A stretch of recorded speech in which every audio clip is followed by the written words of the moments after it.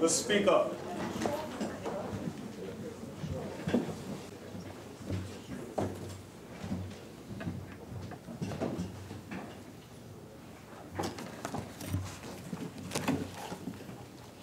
Almighty God, we give thanks to you, the creator of the universe, and humbly beseech you to direct and prosper the deliberations of the members of this house here assembled for the advancement of your glory and the trust and welfare of the people of Trinidad and Tobago.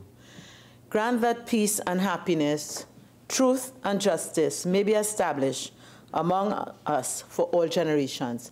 Amen. Amin, Namaste.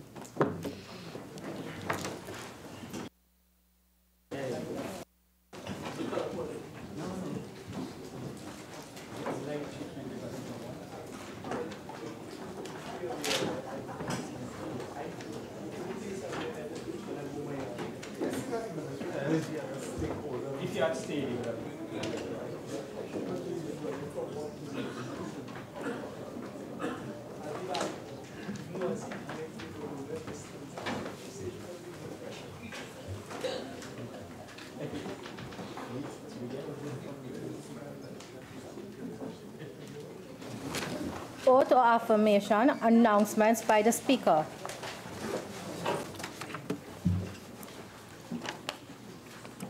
Honorable members, Mr. Esmond Forde, MP, member for Tunapuna, has requested leave of absence from sittings of the House from November 26 to December 13, 2018.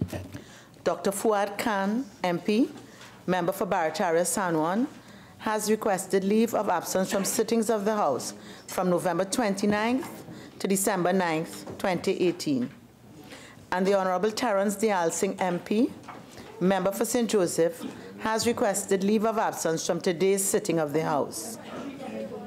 The leave which the members, the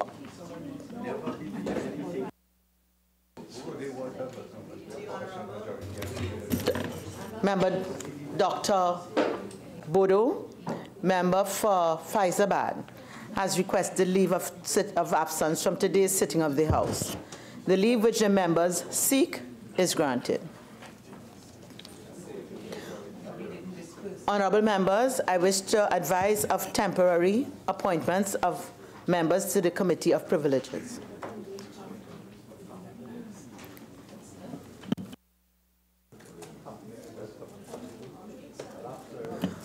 Honorable members, I will defer this matter till later in the sitting. Honorable members, I'm also to advise of correspondence I have received from the President of the Senate dated November 30, 2018, which states as follows. Dear Honorable Speaker, change of membership to joint select committees.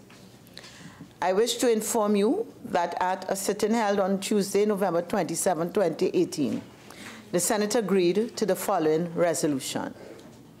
Be it resolved that the Senate agree to the following appointments to the Joint Select Committees. Mr. Gavin Simonette in lieu of Mr. Ronald Huggins and Ms. Amrita Deonarine in lieu of Ms. Jennifer Raffoul on the Public Administration and Appropriations Committee. Ms. Shari Seepersad in lieu of Ms. Melissa Ramkissoon on the Public Accounts Committee. Ms. Amrita Deonarine in lieu of Mr. David Small on the Public Accounts Enterprises Committee. Mr. Deoroop Teemal in lieu of Mr. Stephen Creese on the Joint Select Committee Land and Physical Infrastructure. Dr. Varma Deyalsingh in lieu of Mr. H. R. Ian Roach on the Joint Select Committee on Local Authorities, Service Commissions, and Statutory, statutory Authorities, including the THA. Mr. Anthony Vieira in lieu of Mr. David Small, and Mr. Gavin Simonette in lieu of Mr. Ronald Huggins on the Joint Select Committee on State Enterprises. Mr. Deoroop Teemal in lieu of Mr. David Small on the Joint Select Committee on Energy Affairs. Mrs. Hazel Thompson Ahye in lieu of Dr. Dhanayshar Mahabir on the Joint Select Committee on Human Rights, Equality, and Diversity. Dr. Varma Deyalsingh in lieu of Mr. H. R. Ian Roach on the Joint Select Committee on Government Assurances. Dr. Varma Deyalsingh in lieu of Ms. Melissa Ramkissoon on the Joint Select Committee on Gambling, Gaming and Betting Control Bill 2016. Mr. Anthony Vieira in lieu of Ms. Melissa Ramkissoon on the Joint Select Committee on Cybercrime Bill 2017. Dr. Maria Dillon Remy in lieu of Dr. Dhanayshar Mahabir on the Joint Select Committee on the Constitution Amendment Tobago Self-Government Bill 2018. Ms. Shari Seepersad in lieu of Mr. Stephen Creese on the Joint Select Committee on the Mutual Administrative Assistance in Tax Matters Bill 2018 and the Tax Information Exchange Agreements Bill 2018. Ms. Amrita Deonarine in lieu of Mr. Taurel Shrikissoon and Mr. Deoroop Teemal in lieu of Ms. Jennifer Raffoul on the Joint Select Committee on the Trinidad and Tobago Revenue Authority Bill 2018. Mr. Avinash Singh in lieu of Ms. Ayana Lewis and Dr. Maria Dillon Remy in lieu of Mr. Taurel Shrikissoon on the Joint Select Committee on Parliamentary Broadcasting. And Dr. Maria Dillon Remy in lieu of Dr. Dhanayshar Mahabir on the Joint Select Committee on Foreign Affairs. Accordingly, I respectfully request that the House of Representatives be informed of this decision at the earliest convenience, please. Yours respectfully, Christine Kangaloo, President of the Senate. Bills brought from the Senate, petitions, papers. Minister of Finance. Thank you, Madam Speaker. I have the honor to lay the following papers. The report of the Auditor General of the Republic of Trinidad and Tobago on the financial statements of the Princestown Regional Corporation for the year ended September 30, 2016. Papers 2 and 3, the report of the Auditor General of the Republic of Trinidad and Tobago on the financial statements of the Sangre Grande Regional Corporation for the years ended September 30th, 2012 and 2013. Madam Speaker, I beg to move that papers 1 to 3 be referred to the Public Accounts Committee. Honorable members, the question is that papers 1 to 3 be referred to the Public Accounts Committee. All in favor say aye. Aye. Any against? The ayes have it. Minister of Housing and Urban Development. Thank you, Madam Speaker. Madam Speaker, I have the honor to lay the Trinidad and Tobago Housing Development Corporation vesting amendment to the first schedule number 3 order 2018. Reports from committees.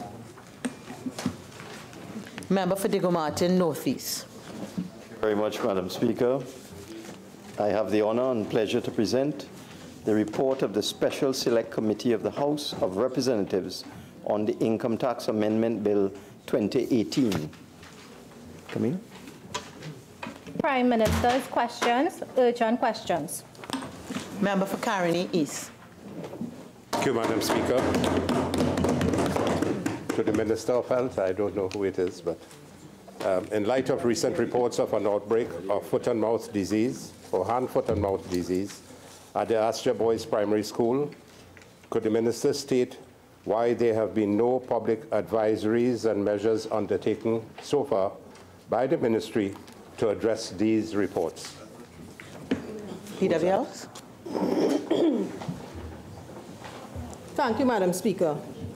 Madam Speaker, I wish to advise that in response to alleged cases of hand, foot, and mouth disease at the ASJA Primary School, San Fernando, a visit was conducted to, to the school by a combined healthcare team comprising members of the County Medical Officer of Health Office Victoria, the San Fernando City Corporation Public Health Department, and the Southwest Regional Health Authority on Thursday, 29th of November. They identified individuals complaining of gastroenteritis-like symptoms, which included fever, nausea, vomiting, and diarrhea, but not hand, foot, and mouth disease, as was reported.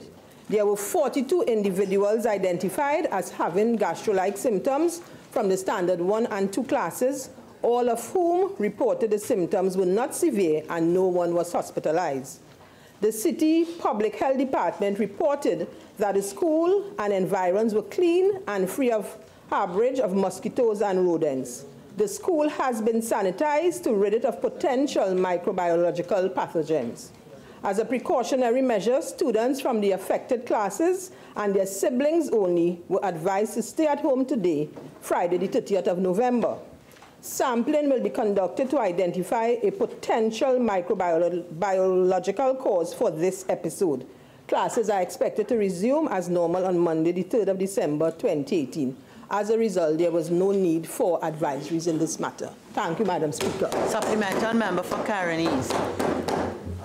In view of your answer, what would you tell the hundreds of parents of these children who are undergoing widespread apprehension, fear, and panic, knowing the issue of hand, foot, and mouth disease possibly exists at the school? I will not allow that as a supplemental question having regard to the response.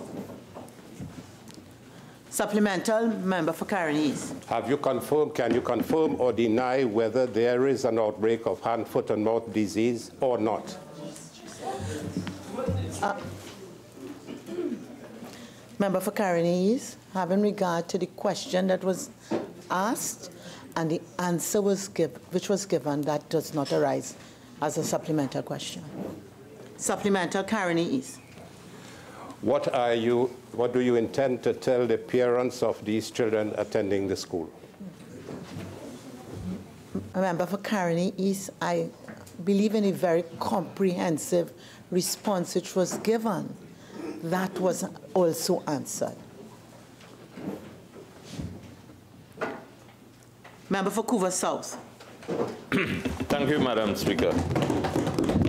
To the Minister of Energy and Energy Affairs, given the decision of the government to close down the operations of Petrotrin by November 30, 2018, could the Minister inform this House how many former employees of Petrotrin have been rehired Uh, at the Heritage Petroleum Company, Paria Fuel Trading Company, and Guaracara Company? Minister of Energy and Energy Industries. Thank you very much, Madam Speaker. Madam Speaker, with regards to Heritage, which is really now the core company, as of today, we have hired 39 senior and middle managers. Of that 39, 16 are former Petrotrin employees and 23 are former, well, former non-employees of Petrotrin. With regards Paria trading, the, we have employed three senior managers, two are former Petrotrin employees, and one is a non-employee of Petrotrin. With regards Guaracara Refining Company Limited, no body has been employed to date, and because that company will be the, the custodian of the refinery assets, and there will be very limited employment in that company. There will just be a custodian, and that employment will take place very shortly. Supplemental, member for Couva South. Given the numbers that you have just presented to the House Minister, could you provide this House with the categories of the numbers and the under what terms and conditions they have been hired? I'm not too sure the categories of the... He has indicated, Madam uh, Speaker, that um, in one instance there's 39. So out of this 39, whether there's five in a particular skill set and so on. And so I'm seeking the numbers in terms of the categories and also under what terms and conditions. Minister of Energy and Energy Industries. Madam Speaker, I am willing to supply the titles of the, the positions that they were employed under, but the terms and conditions, I guess, they should be confidential to the employee. So in that regard, I can provide the first instance. Member for South. Uh, also taking into consideration that the Prime Minister gave a commitment at a public meeting in Marabella that former employees of Petrotrin will become shareholders of these new entities. Could you tell us how many of these new, of these former employees are shareholders of the three new entities? I will not allow that as a supplemental question. Member for South. Thank you, um, Madam Speaker. To the Minister of Energy and Energy Affairs, given the decision of the government to close down the operations of Petrotrin by the 30th of November 2018, could the minister inform this House as to whether employees who contributed to Petrotrin employees' pension plan were all given benefit statements prior to the date of closure? Minister of Energy and Energy Industries. Madam Speaker, individual benefit statements were issued to all employees prior to the closure date, which is today. Supplemental member for Couva South. Could the minister advise this House whether these benefit statements were audited? Minister of Energy and Energy Industries. I am, un- I am unable at this time to, to say so. Supplemental member for Couva South. Could the minister also inform uh, this House whether the retirees of the said pension plan were given audited uh, benefit statements also? Minister of Energy and Energy Industries. If the, if the retirees were given audited statements, the, the plan is in effect. So all their benefits are already being paid to them. Member for Pointe-a-Pierre. Thank you, Madam Speaker. To the Minister of Energy and Energy Industries, given that today is the last day, November 30th, of the operations at Petrotrin, could the Minister state whether all processes required to secure the refinery, as well as comply with i- environmental standards, have been executed in an effort to prevent any environmental or mechanical mishaps? Minister of Energy and Energy Industries. Madam Speaker, I am pleased to announce that as we speak, all plants and processing plants at the Petrotrin refinery has been safely shut down in accordance with proper environmental practices. All hydrocarbons have been removed and the entire processing plants have been placed under a nitrogen atmosphere, which is an inert atmosphere to save corrosion and, and, and, and um, fires and ignitions and what have you. So as we speak, the refinery has been closed, the steam plants have been down, and everything is, is safe. And as we go out now for an RFP for proposal for somebody to run the refinery. Supplemental member for Pointe-a-Pierre. Uh, Thank you, Madam Speaker. To the Minister of Energy Supplemental, could you state whether the environmental agency gave a certificate of clearance of, of what you just described of this shutdown and the process that you just described? Minister of Energy and Energy Industries.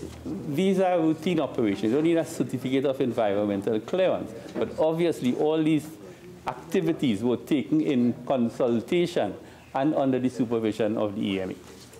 Supplemental member for Pointe-a-Pierre. Thank you, Madam Speaker. To the Minister, um, in your question, in your response to question number two, where you said there are no employees at Guaracara Company which will be responsible for the refinery, what, given that there are no employees presently and the refinery is shut down now, what, what are the environmental issues that I envision could happen when there are no watchkeepers or individuals that will be ensuring that What is the question? the question is, given that there are no employees employed at the Guaracara refinery that are responsible to shut down the refinery going forward, what, uh, what will happen and for the environmental issues where there are no employees? Minister of Energy and Energy Industries. Madam Speaker, there are no employees at present employed with Guaracara Refining. However, third-party service contracts have been awarded, so there is staff who is monitoring the refinery, supervising the refinery, doing main- maintenance work as we speak. And that contract, I, I- I could make it public, it was a public uh, RFP, and it was won by Demos Limited. Member for Oropouche West. To the Minister of National Security, with regard to the use of police and army uniforms by criminals to commit serious crimes, most recently in the kidnapping of a UWI employee, could the minister indicate how he intends to curtail the use of these uniforms by criminals? Minister of National Security. Thank you very much, Madam Speaker. Madam Speaker, first of all, in the unfortunate incident with the kidnapping of someone at UWI this week, uh, let's just like to put on record, it was not a police uniform used, it was a bulletproof vest that had a police emblem on it. There were not army uniforms used, what it were camouflage fatigues used. Of course, the, these, the use of these items is of serious concern to the government and in particular the Ministry of National Security. We have been engaged in conversations with the Trinidad and Tobago Police Service as well as the Defense Force to ensure, ask them to put more measures in place ensuring it is not legitimate police and defense force uniforms being used in the committal of these crimes. Unfortunately, there have been a few incidents where this has taken place, and those who are detected are prosecuted. Supplemental member for Oropouche West. Um, are there any known cases, Minister, in which these uniforms are either loaned out or borrowed by persons who commit these offenses? The answer Minister. is yes in one of the recent kidnappings, and those persons are now behind bars. And as I'm being reminded from my colleague to the back, it is a crime to utilize either the police uniforms or defense force uniforms. Supplemental member for St. Augustine. To the Honorable Minister of um, National Security, could you indicate if there have been further enhanced security measures put in place in and around the University of the West Indies since I will not allow that based on the question asked. Member for Oropouches. Thank you very much. Um, in light of the responses of the minister, could the minister indicate whether or not uh, the government may consider reviewing the laws that relates to penalties for persons in possession of those uh, items and or equipment that you identified earlier? Minister of National Security. As I had stated yesterday, Madam Speaker, we are currently, the Ministry of National Security is currently looking at the policy with respect to camouflage in particular, with respect to the use of police uniforms in an unauthorized manner. What I can foresee is the increase in the fines and penalties related to same. Member for Oropouche West. To the Minister of National Security, with regard to the recent kidnapping of an, of an employee of the University of the West Indies St. Augustine campus, could the Minister please indicate what measures will be implemented to ensure the safety of the staff and students at UWI? Minister of National Security. It does not. Thank you very much, Madam Speaker. Madam Speaker, as members may be aware, the University of West Indies' campus and their premises are private. They have their own estate police in place. Obviously, there are issues with respect to the security and the securing of persons on the premises. The Trinidad and Tobago Police Service has been leading the conversation with them, and in particular, the Commissioner of Police is in direct contact with the university campus security personnel as well as the principal and others. And any support that can be given, the Ministry of National Security has asked that they do provide such support. Supplemental member for St. Augustine. to the Honorable Minister of National Security, um, has the mobile police post been removed from the campus? Minister of National Security. Thank you very much. Madam Speaker, I don't have the answer for that particular question. Honorable members, question time with respect to urgent questions is now spent. Leader of the House.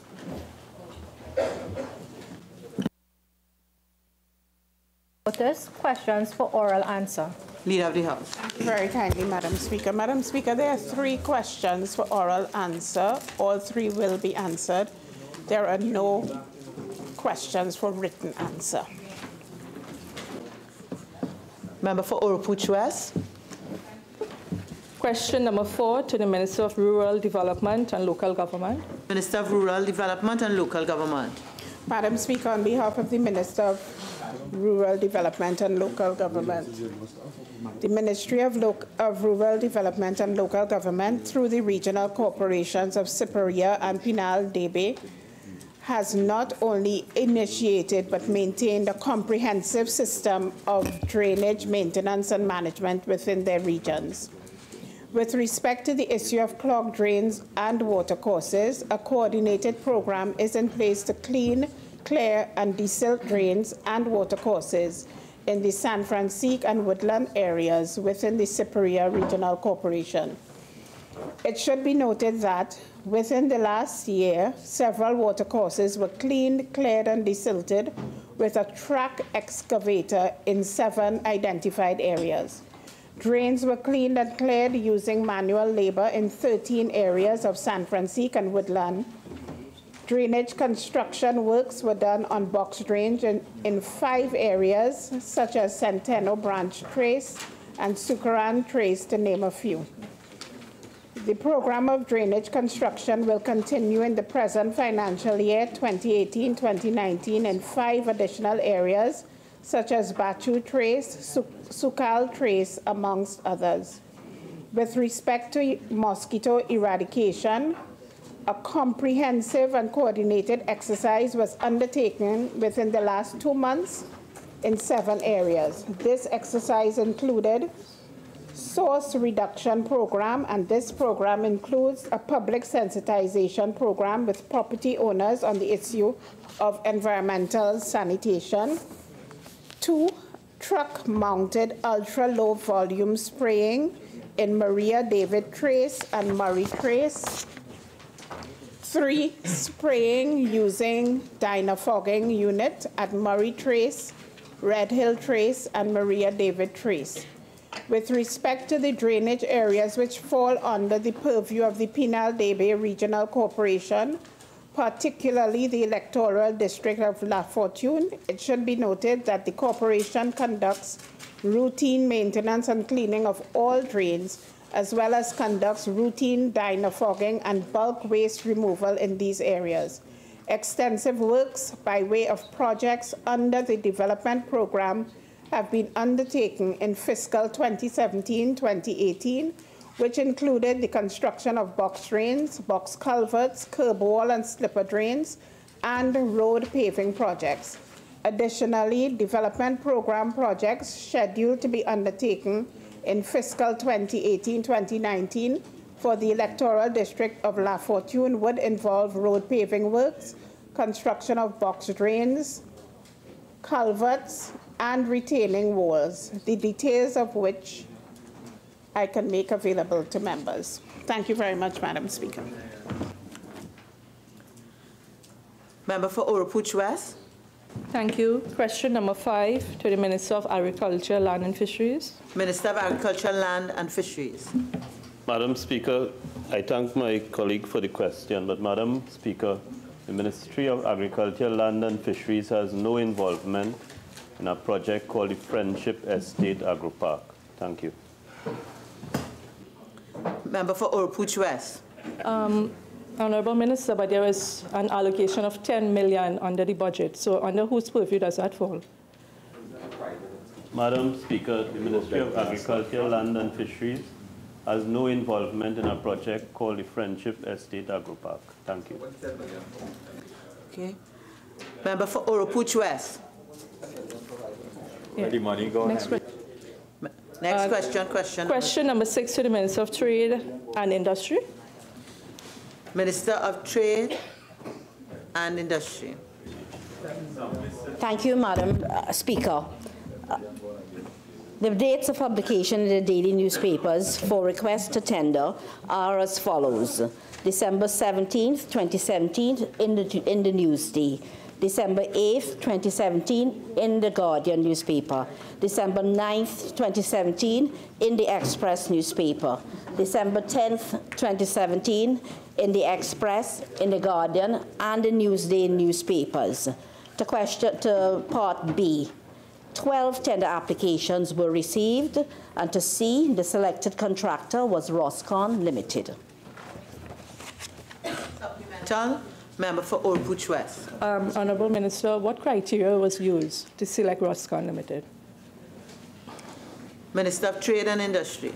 So I'm sorry, I don't have that information in its totality before me, but I can always supply it to you. Supplemental. Member for Oropouche West. Honourable Minister, you would agree with me that you do agro-processing once there is an excess supply of any commodity. The question is, are there any crops produced in this country domestically that is in the excess supply to warrant an agro processing unit at this point in time. I'm not going to allow that as a supplemental question. Member for Pointe-à-Pierre. Thank you, Madam Speaker. To the Minister, could you state what is the value of that contract that was awarded to Roscon Limited?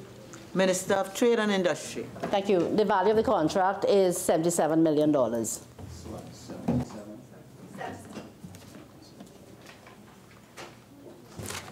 Request for leave to move the adjournment of the House on definite matters of urgent public importance, statements by ministers, personal explanations, introduction of bills, motions relating to the business or sittings of the House and moved by a minister, public business, committee business, motions. Member for Diego Martin, North East. Thank you very much, Madam Speaker. I beg to move the following motion standing in my name.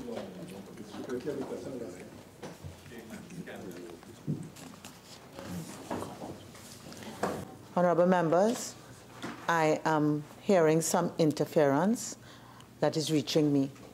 I'd ask members please to observe Standing Order 53. Thank you, Madam Speaker. Be it resolved that this House adopt the report of the Special Select Committee of the House of Representatives on the Income Tax Amendment Bill 2018. Please. 36-1C of the standing orders.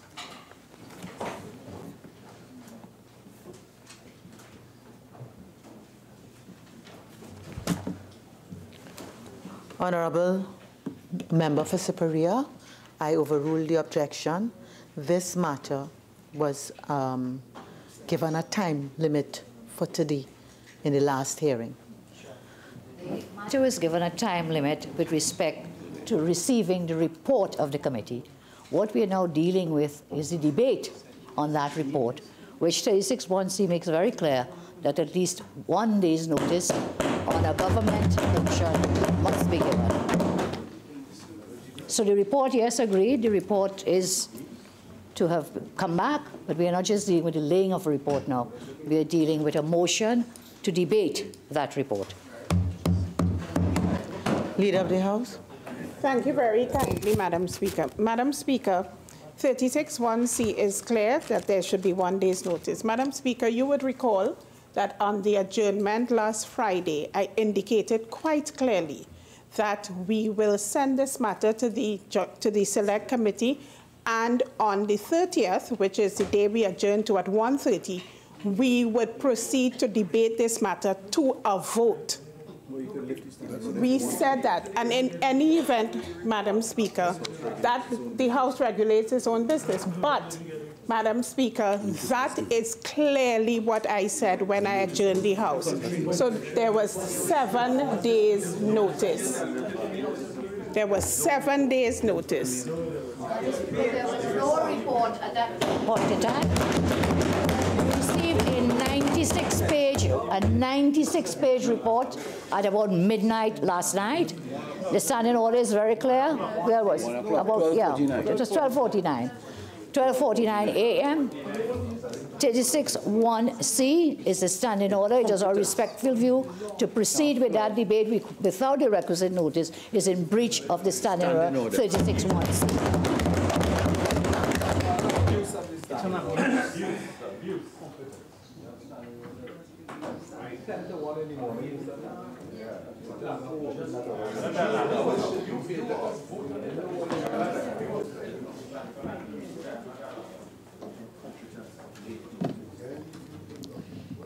Honorable members,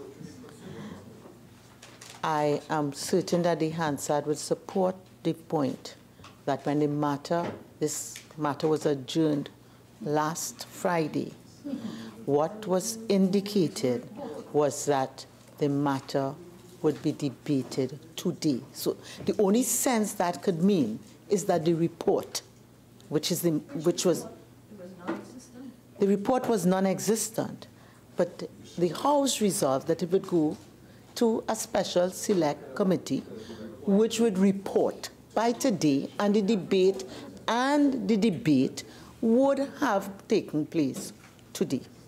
Okay, notice was given to all of us. Please proceed. Thank you. Thank you. Thank you, Madam Speaker. Madam Speaker, on at the last, Madam Speaker, there's a lot of noise. It's difficult to talk. Please proceed, Member for Diego Martin Moses. It's on both sides. And that's not a joke either. So, Madam Speaker, at, on the last occasion, at a sitting held on Friday, the 23rd of November 2018, a special select committee was established by the House of Representatives to consider and report on the Income Tax Amendment Bill 2018. The mandate of the committee was to consider and report on a bill entitled the Income Tax Amendment Bill 2018 and to report by Friday 30, 2018. And may I make the point, Madam Speaker, I'm being disturbed. Madam Speaker, I'm being disturbed. All members will be entitled to join in the debate and make their contribution at the proper time. Member for Diego Martin, Northeast. Thank you very much, Madam Speaker. For the record, a committee, a committee can only report to the House. A committee cannot do anything else. It is the House that resolves to debate a matter. A committee cannot do that. So that the mandate of this committee was to consider and report on the bill and to report to the House by Friday, November 30th, 2018. The House itself was notified last week that when this report arrived here today, this would be debated. Madam Speaker, I need to move on now, despite the fact that I'm being disturbed by Siparia and Naparima. At the first meeting on the Monday 26th, because we move with dispatch, Madam Speaker, so the committee was established on Friday last, and on Monday, the committee had its first procedural meeting, and I was elected as chairman in accordance with the standing orders of the House. The committee had two meetings, Madam Speaker. We had a meeting on the 26th of November, last week Monday, and we had a meeting on Wednesday, the 28th. On the 28th of November, Madam Speaker, after our in-camera meeting, we had a live hearing on Channel 11, that is the Parliament television channel, and on the Parliament radio station, 105.5, and it was also broadcast live on Parlview, the Parliament's YouTube channel. So that the hearing that we had was live on television, on radio, and on social media. The committee, like all committees, had the power to send for persons, papers, and records, to report to the House, to appoint advisors, etc. At that sitting, sorry, at that hearing, Madam Speaker, we had representations made by a number of important stakeholders who have a critical and keen interest in the passage of this legislation. These included His Excellency Arend Biesebroek, the ambassador of the delegation of the European Union to Trinidad and Tobago, and his participation in the hearing was very important because we find ourselves in a situation where we are under the microscope from three organizations, Madam Speaker. The Global Forum, which is a group of countries who have come together to agree to share tax information, among other things. The EU Council of Ministers, which is moving on its own accord. It is independent from the Global Forum. And the Financial Action Task Force and its regional subgroup, the Caribbean Financial Action Task Force. So it was very important that the ambassador for the delegation of the European Union came and spoke to the committee. We also had four persons from the Bankers Association, the chairman of the Bank, Banking Association Legal Committee, the chairman of the Bankers Association Forex Committee, the chairman of the Bankers Association Compliance Committee, and the chief compliance officer of Republic Bank Limited. So we had four important persons coming to, Madam Speaker, a constant drone from members opposite. I ask for your protection. Minister of Finance, please direct your contribution here and rise above any sort of... Try my best. Please. Here he goes again. So we had four persons from the Bankers Association, from the Legal Committee, the Forex Committee, the Compliance Committee, and a, and a senior compliance officer from the leading bank. We also had representatives from the National Anti-Money Laundering and Counter-Terrorism of Financing of Terrorism Committee, also known as NAMLAC. We had the director of the Financial Intelligence Unit, the deputy director of the Financial Intelligence Unit, legal counsel to the Securities and Exchange Commission, legal two legal counsel for the Securities and Exchange Commission, uh, the head of the Financial Intelligence Branch of the Police Service, legal counsel of the Anti-Terrorism Desk at the Ministry of the Attorney General. We had the manager of anti-money laundering at the Central Bank, a senior counsel from the Central Bank, senior legal counsel, sorry, and an examiner from the Central Bank of Trinidad and Tobago. So those were nine representatives of the National Anti-Money Laundering and Counter-Financing of Terrorism Committee. We also had from the Board of Inland Revenue, the chairman of the board, the chief state counsel from the Board of Inland Revenue, the commissioner in charge of audit and compliance at the Board of Inland Revenue, and the director of information and communications technology at the Board of Inland Revenue. Again, from the Financial Intelligence Unit, we had the director and the deputy director. And as I stated previously, we had the person from the Financial Investigation Branch of the Police Service. We also had from AmCham, American Chamber, Trinidad and Tobago, Mr. Nirad Tewarie, the Chief Executive Officer, and a research officer. Also from the Trinidad and Tobago Chamber of Commerce, we had a director and three members representing uh, industry members of the chamber. So in total, Madam Speaker, we had appearing before us six, seven, 11, 20, 25 important stakeholders ranging from the European Union, Bankers Association, National Anti-Money Laundering Committee, Inland Revenue, FIU, FIB, AmCham, and Trinidad and Tobago Chamber. And we engaged in very comprehensive and wide-ranging discussions on the afternoon of Wednesday, the 28th of November. And I believe we broke up, my if my memory is correct, we broke up sometime after 5 o'clock. So we had several hours of live sessions.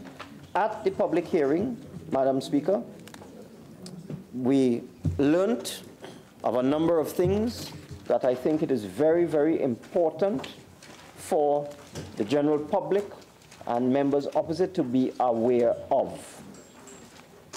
The ambassador from the European Union, and all of this is in this report, Madam Speaker, the ambassador from the European Union made it clear that the main driver behind all of this is the tax transparency standard, global interest in tax transparency, global interest in trying to stamp out tax evasion and tax avoidance, and all the associated issues such as money laundering and terrorist financing that go with, with lack of transparency in tax matters. The ambassador also told us what will happen if we do not pass the income tax amendment bill. And one of the things that will happen is that European community members will be authorized to take what is called defensive measures. And I'll explain to the House and to the population what is a defensive measure. A defensive measure is a termination of correspondent banking. And for those who do not know what correspondent banking is. If any business person or citizen in Trinidad and Tobago has to do a transaction involving a transfer of funds, either coming in or coming out. So a businessman would wish to buy raw materials for his business and pay for these raw materials by wire transfer. And a businessman would also seek to get paid for goods that may have been exported to one of these European Union countries and again get paid by wire transfer. That's one aspect, very crucial aspect of correspondent banking. The banks in Trinidad and Tobago deal with particular banks in large financial centers such as London, Paris, Rome, and so on. So that our banks here would have a relationship with a particular bank in London, England, for example, and in order to make a payment to a supplier in, say, the south of France, or to receive money and transmit it to a Trinidad and Tobago company from someone who has received Trinidad and Tobago goods, say in, in, the, in, the, in the north of Spain, the payments going out and in would go through the correspondent bank in London so that our banks would not have relationships with small banks or even large banks in every town or city in every territory in the European Union. They would only deal with particular correspondent banks and sometimes in one country alone. A lot of our banks deal with correspondent banks in London, and these correspondent banks then send money to France, to Germany, to Spain, and so on. So that if, for example, you had a child who was studying at a university in Toulouse, for example, which is in the south of France, and tuition payments were required, you would go to Republic Bank or Scotia Bank, Royal Bank, as the case may be, arrange for the, the wire transfer, which would then be routed through the correspondent bank in London and arrive at the bank that the University of Toulouse, for example, would use in the south of France. The money can't go directly. It has to go through a correspondent bank because our banks here do not have relationships with every bank in the world. And similarly, coming the other way, if payments are to be made to, say, FCB in Port of Spain, they have to come through a correspondent bank in, in London or wherever the case may be. So this was clearly explained to us. And one of the defensive measures that European countries will be required to take if we don't pass this income tax bill is to cease corresponding banking relationships. So it means our businessmen will not be able to pay for raw materials and they'll not be able to receive payment for goods that they export. The same also applies to yeah, the same applies to cash notes. It's a little known fact that the US dollars that you get in the bank in Trinidad, or the euro notes for that matter, they don't come from our central bank.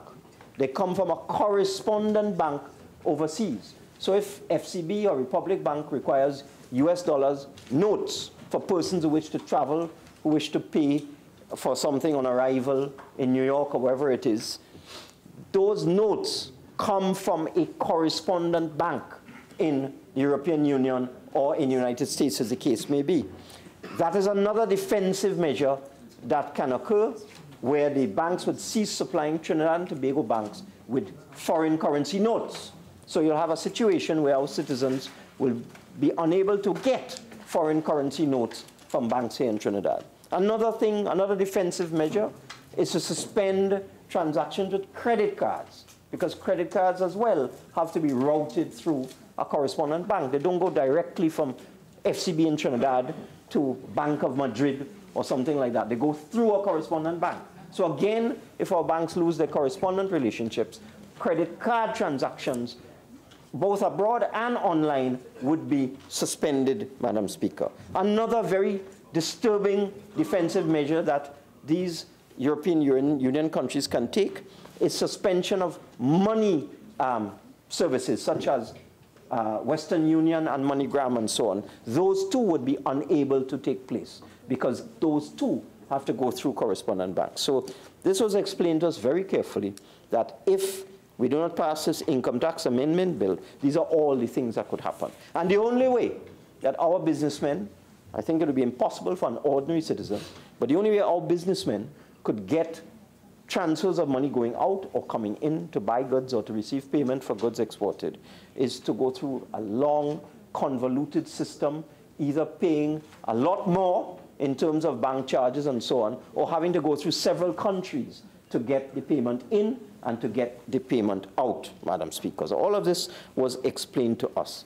And what was explained to us as well, the correspondent banks will be required to do extreme due diligence on banks in Trinidad and Tobago if we are not compliant. And uh, many correspondent banks will simply not bother. They will simply not bother because it is too expensive, it is too tedious, and many banks will just walk away and not even bother to do a business with banks in Trinidad and Tobago. And the, the few that remain will charge far more than they currently charge for the, for the service of providing transfers in and out, Madam Speaker. The Bankers Association said categorically that they had no problems whatsoever with the drafting or wording of the legislation. None whatsoever. And they approved of the, the same approach as in this bill, as in, as in the FATCA legislation for the reciprocal exchange of information between competent tax authorities. The NAMLAC, the National Anti-Money Laundering Committee, made it clear that this bill has arisen because of deficiencies identified in the mutual evaluation report done by FATF on Trinidad and Tobago in 2016. And the key areas that FATF identified were FIU requirements, forms of international cooperation across sectors, including in particular law enforcement and effective legislation. They, they outlined again the consequences of non-passage of the bill. What, what we were told, and the head of the FIU said this, is that Trinidad and Tobago is currently on a grey list with FATF, and if this bill is not passed, we will move very swiftly to a blacklist. And the, the consequences of blacklisting with FATF are quite severe. The FIU also pointed out that money laundering is a crime that occurs after another crime has occurred. So you have a drug trafficker who wants to move money around either to purchase or to sell drugs. After they've completed their drug transaction, they have to find a way to move the money. And that is how money laundering comes into play. So money laundering in itself is illegal movement of money. But money laundering flows from very serious crimes, from human trafficking, from drug trafficking, from gun running, and from all other forms of very, very serious crimes. And they made the point that authorities all over the world, the world has changed, and if we do not comply with requirements for transparency and allowing law enforcement agencies access to information, then we will be deemed to be a country that is high risk. We're already high risk, higher risk, blacklist, and we would be deemed to be a country that other countries simply should not do business with. We'll become a pariah state. The Trinidad and Tobago Police Service made the point that this bill will assist them in getting uh, easier access to information. And it is highly necessary because if you're pursuing somebody, a money launderer, a drug trafficker, a human trafficker, a gun smuggler, if you're pursuing someone, a terrorist, you're pursuing somebody like that, time is of the essence. Time is of the essence. So the, the Chamber of Commerce endorsed the bill. They, they made the point that it will have a severe negative impact on trade because they depend on correspondent banking services. They can't function without correspondent banking services. So if we don't pass this bill and correspondent banking services are withdrawn, then that's the end of them. And of course, the Board of Inland Revenue endorsed the bill. The American Chamber endorsed the bill. I want to make that clear. The American Chamber of Commerce not only endorsed the bill, but said that this bill is easy to understand. That was a question posed directly by the Attorney General to the CEO of the chamber, Mr. Nirad. He said, do you understand this bill? Because there's been some talk from members opposite that the bill is vague and um, unambiguous. And Mr. Tewarie said, no, he understands the bill. It's very clear. So that, yes. So in terms of the, the Eurocham TT, they sent in a, a written submission which simply reiterated the other issues. With respect to the other, other issues that we as a country have to deal with, I want to deal now with a very important point. One of the things that we are required to do as a country is to sign on and become a member of the Mutual Assistance Convention on Tax Matters. And there is a piece of legislation, Madam Speaker, that is not before us. Or let's put it another way. In order for Trinidad and Tobago to be a full member of the Mutual Assistance in Tax Matters Convention, we are required to sign on to a treaty, and that is the Mutual um, Assistance in Tax Matters Convention. In all our correspondence back and forth with the Global Forum, the questions coming from the European Union with respect to our readiness for accession to that treaty are very, very clear, Madam Speaker. The Global Forum has refused to allow Trinidad and Tobago to be invited to join the Multilateral Convention on Mutual Assistance, Mutual Administrative Assistance in Tax Matters. They don't believe that. They don't believe that. Uh, Madam Speaker, as far back as March 2017, as far back as March 2017, we received this email from the secretariat in the OECD that deals specifically with tax matters, and the subject is your request to be invited to join the Multilateral Convention on Mutual Assistance, assist, Mutual Administrative Assistance in Tax Matters. And here is the questions coming from them. And this is to Ms. Amelia Swift, our tax treaty person at the time. Dear Ms. Swift, further to your request of 21st January 2017 to be invited to join the Multilateral Convention on Mutual Administrative Assistance in Tax Matters, MAC, as well as the related question on confidentiality, a couple of parties to the MAC, these are other countries, have come back to us with a request for further information. The issues raised are the following. The response to question one cites the Income Tax Act, Section 4. Excuse me, is there some device Him. on?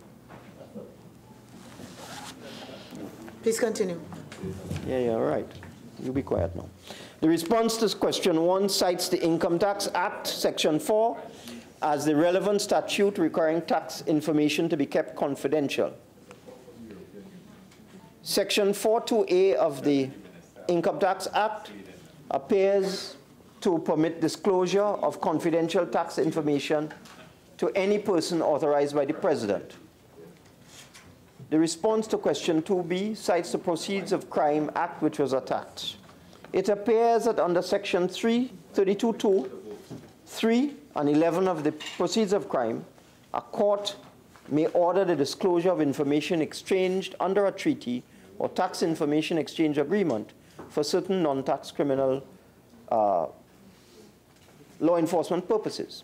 Therefore, there appears to be a conflict between the confidentiality provisions in a treaty of tax information and several provisions of your domestic law. Can you provide a legal analysis explaining how, under your legal framework, the confidentiality, obligations in treaties and tax information agreements will take over these and any other conflicting domestic laws. And that's the crux of the matter. The Mutual uh, Administrative Assistance in Tax Matters Convention, which is a treaty, provides for automatic sharing of information between our Inland Revenue Division and other competent tax authorities in other countries. Once we sign that treaty, we have agreed that there will be automatic sharing of tax information from Trinidad and Tobago to the countries that are parties to that treaty and vice versa, just like FATCA. But what the European Union members were saying is that your income tax law has a secrecy provision in it. So even though you sign this treaty agreeing to share information automatically, your income tax law will be in conflict and it will make a nonsense of the whole thing. So what they told us is we will not allow Trinidad and Tobago to be invited. You first have to be invited to sign the treaty. And they refused to invite Trinidad and Tobago to sign the Mutual Administrative Assistance uh, on Tax Matters Treaty. Point blank refuse. Because, and the point they made, and I think this needs to be understood by all concerned, members opposite and the population. The point they made, we will not allow Trinidad and Tobago to sign this treaty with respect to mutual assistance in tax matters because your Income Tax Act has a secrecy provision which makes a nonsense of the treaty. So we won't allow you to sign on to this treaty until you go and fix your Income Tax Act and enact it into law and have it assented to. Because that's another point the Global Forum made, that they have no interest in legislation that is before the Parliament, legislation that has passed through one house but not the other, legislation that has not been assented to and become part of our laws. In fact, they have refused to evaluate Trinidad and Tobago until we have this law enacted assented to and gazetted, Madam Speaker. And in all the correspondence, this is what the Global Forum is telling us. And they're telling us our commitment is insufficient. Our commitment is insufficient. When you look at the correspondence, which I will put into the record in due course, Madam Speaker, the Global Forum has been telling Trinidad and Tobago for quite a while now that our high-level political commitment is just not good enough. It's not just good enough to say that the bill is before a joint select committee or select committee as the case may be. We're working on it. We're talking with the opposition about it. They are not interested in that. They have said point blank that until we pass this law and it becomes law, they, have no, they are not going to evaluate Trinidad and Tobago or allow us to sign the treaty, Madam Speaker. And, uh, and, and all of the correspondence makes the point that what they require is automatic exchange of financial information, Madam Speaker. Listen to this. At a time, and this is a, this is a letter from this is a letter from the Organization for Economic Cooperation and Development, or OECD, and this is a March 31st, 2017 letter. And in this letter, they are telling, this is, this is from the uh, OECD Secretariat that deals with Mr. Mr. Angel Gurria is the person that sent it to us from the OE. This is from the Office of the Secretary General of the OECD, telling us at a time when automatic exchange of financial account information has become the new international standard in complement to the international standard on exchange on request, the convention provides the ideal instrument to swiftly implement both standards. So the signing and ratification is, of the convention is very timely since Trinidad and Tobago has committed to start exchanging automatically financial account information later this year. So we were going down a pathway, Madam Speaker. We had written them and we had said, if all goes in according to plan, we will have in our legislation the ability to automatically share tax information with the competent tax authorities in the OECD countries. But it never happened. It never happened. And here we are today, and it's still not happening. And what the Global Forum has told us is that until and unless we pass this law, they are not interested. They will not allow us to sign the treaty. They will not allow us to be part of the convention, and they will not do any fast track or any evaluation of Trinidad and Tobago. They say they can't help us. They say talk is cheap. If, if you say that you're going to deal with these matters, we don't want to hear that. You have to pass the law and then let us examine the law and we will determine whether you are on the way. And this is all a work in progress, Madam Speaker. It's a work in progress. It's step by step. It's like you're climbing a ladder. They won't even let you get on the ladder to climb to the top, which is full compliance with the Global Forum, unless you fix your domestic law, in particular secrecy provisions and your income tax law, they won't let you get on the pathway to get towards compliance, Madam Speaker. So until and unless we pass this legislation, Madam Speaker, that's it, We're stuck. And, and we continue to be non-compliant. Among 154 countries in the world that are members of the Global Forum, how, how much more time do I have, Madam Speaker? Your time is up at 2.50. Two Five zero. Five zero. Oh, I have lots of time, lots of time. Until, Madam Speaker, we deal with this problem here, which seems to be causing so much concern to members opposite, until we deal with it, we will not be allowed to even get on the pathway to compliance with the Global Forum. That's all right. Madam Speaker, we on this side have gone out of our way to accommodate the opposition. We have gone out of our way. In the, in the Joint Select Committee that looked at the three pieces of legislation, the facts became clear that you cannot incorporate into your domestic law the mutual assistance uh, uh, in an administrative tax convention until you first become a member of that convention, Madam Speaker. The steps in, in, in terms of treaty obligations are first, you are eligible to sign the treaty. You are deemed to be eligible to sign the treaty. Then you are allowed to sign the treaty. Then, yes, the intergovernmental agreement. Then you have to ratify the treaty. And then you have to incorporate the treaty into your domestic law so it has force of law in your country. The, the, the, the bill, the second bill of the three, that is not before us, that, that deals with the convention, presumes that we have already signed the treaty because we cannot incorporate a treaty into our domestic law until we are a member of that convention, Madam Speaker. So that bill will have to wait until we are allowed by the Global Forum to become a member of the MAC, exactly. to become a member of the Convention on, on Tax Matters. We are not, they will not allow us to be invited to be a member. They will not allow us to sign it. And therefore, the bill has to stay in abeyance until we are allowed to enter into the, the, the, group of countries that have signed that treaty. So that bill could be before a thousand joint select committees. It will make no point because we can't, that, that law, if enacted, will be a nonsense. And the date of exchange is, is, is there. That's that one.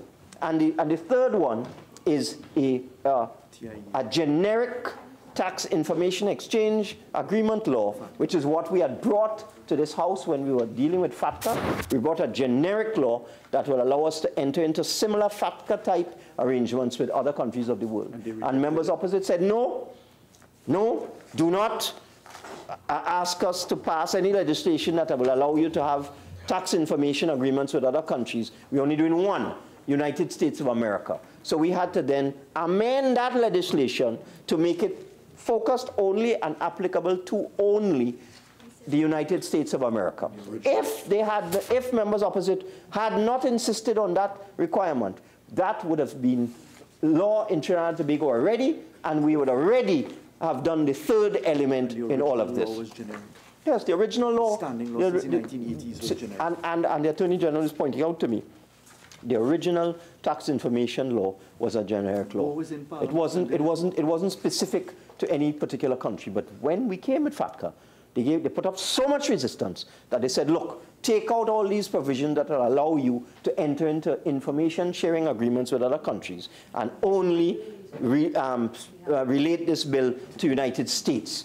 But now we reach global forum. We have these three things to do. Pass the income tax amendment bill, remove the secrecy provision in the income tax law under certain prescribed conditions.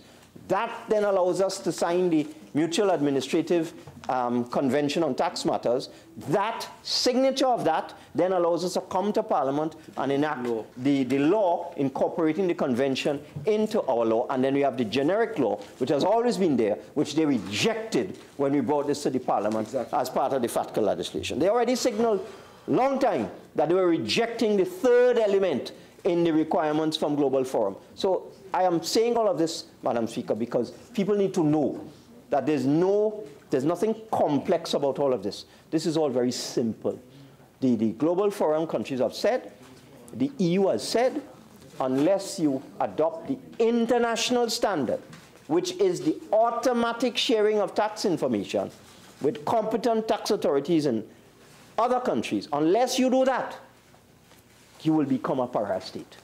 And they further said, until and unless you do that, adopt the global standard of automatic sharing of tax information, we won't allow you to become a member of the the, the Mutual Assistance um, Convention on Tax Matters. And certainly, the other side has already told us that we had to go one by one by one. How many countries have in the world? 190 something? So, so the other side have told us that we had to have 190 debates as we go to Germany and we go to France and we go to to Argentina and we go to Brazil, we have to, we, that is what we were told on the last occasion, that we, when we did the FATCA debate, we were told, Madam Speaker, the noise has started up again. Honorable members, I would like to hear the Minister of Finance, please. Madam Speaker, you see, they don't want the people to know the truth. When we came with the FATCA legislation, they, it was a multi-purpose omnibus piece of legislation that would have made us globally compliant. And they say take out all those other references, all those other countries, and make this with the United States alone. And then we come back to Global Forum now, and Global Forum say, you see that stupidness all you do? Making that tax information exchange agreement one country, well, you had to make it all. Eh? So we know a whole year later, a whole year later, right back to square one where the parliament was a year ago, where we said we would like to pass a law that allows for the sharing of tax information with the other countries of the world. And they say, nah, just one, United States. And when you want to do the next one, come back with a single purpose bill just for that. 190 pieces of legislation we will have to do if, if they continue with that approach, Madam Speaker.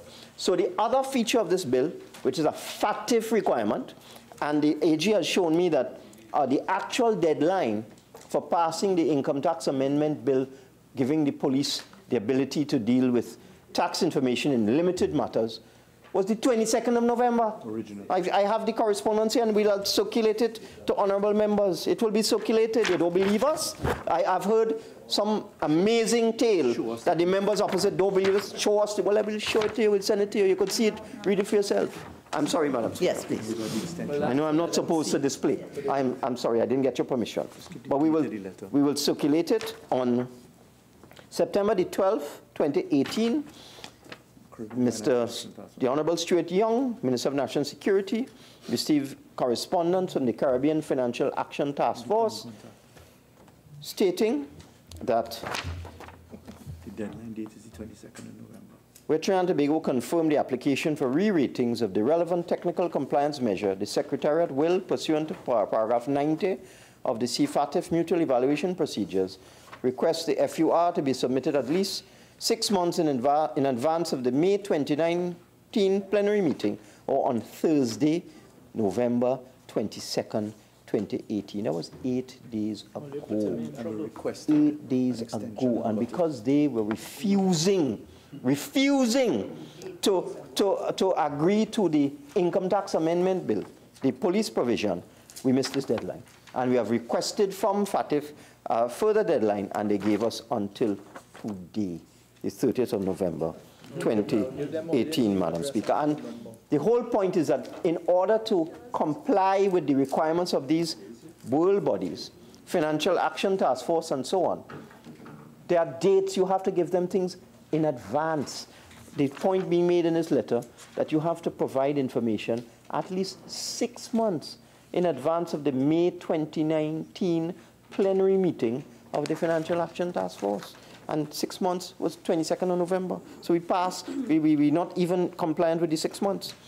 But, Madam Speaker, because of members, uh, things that they have raised opposite, if you look at the report of the committee, we have made further amendments to the contentious clause 5 of the bill. Further amendments to the contentious clause 5 of the bill, Madam Speaker.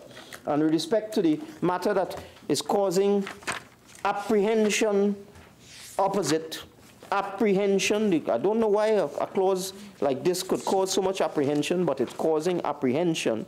And that is the clause that deals with the um, giving the power to the police to access tax information. We have made, we have made amendments, Madam Speaker. Further amendments, in, in, in, and this is based on correspondence sent to me by the Honorable Leader of the Opposition, uh, arising from correspondence that I sent to the Honorable Leader of the Opposition.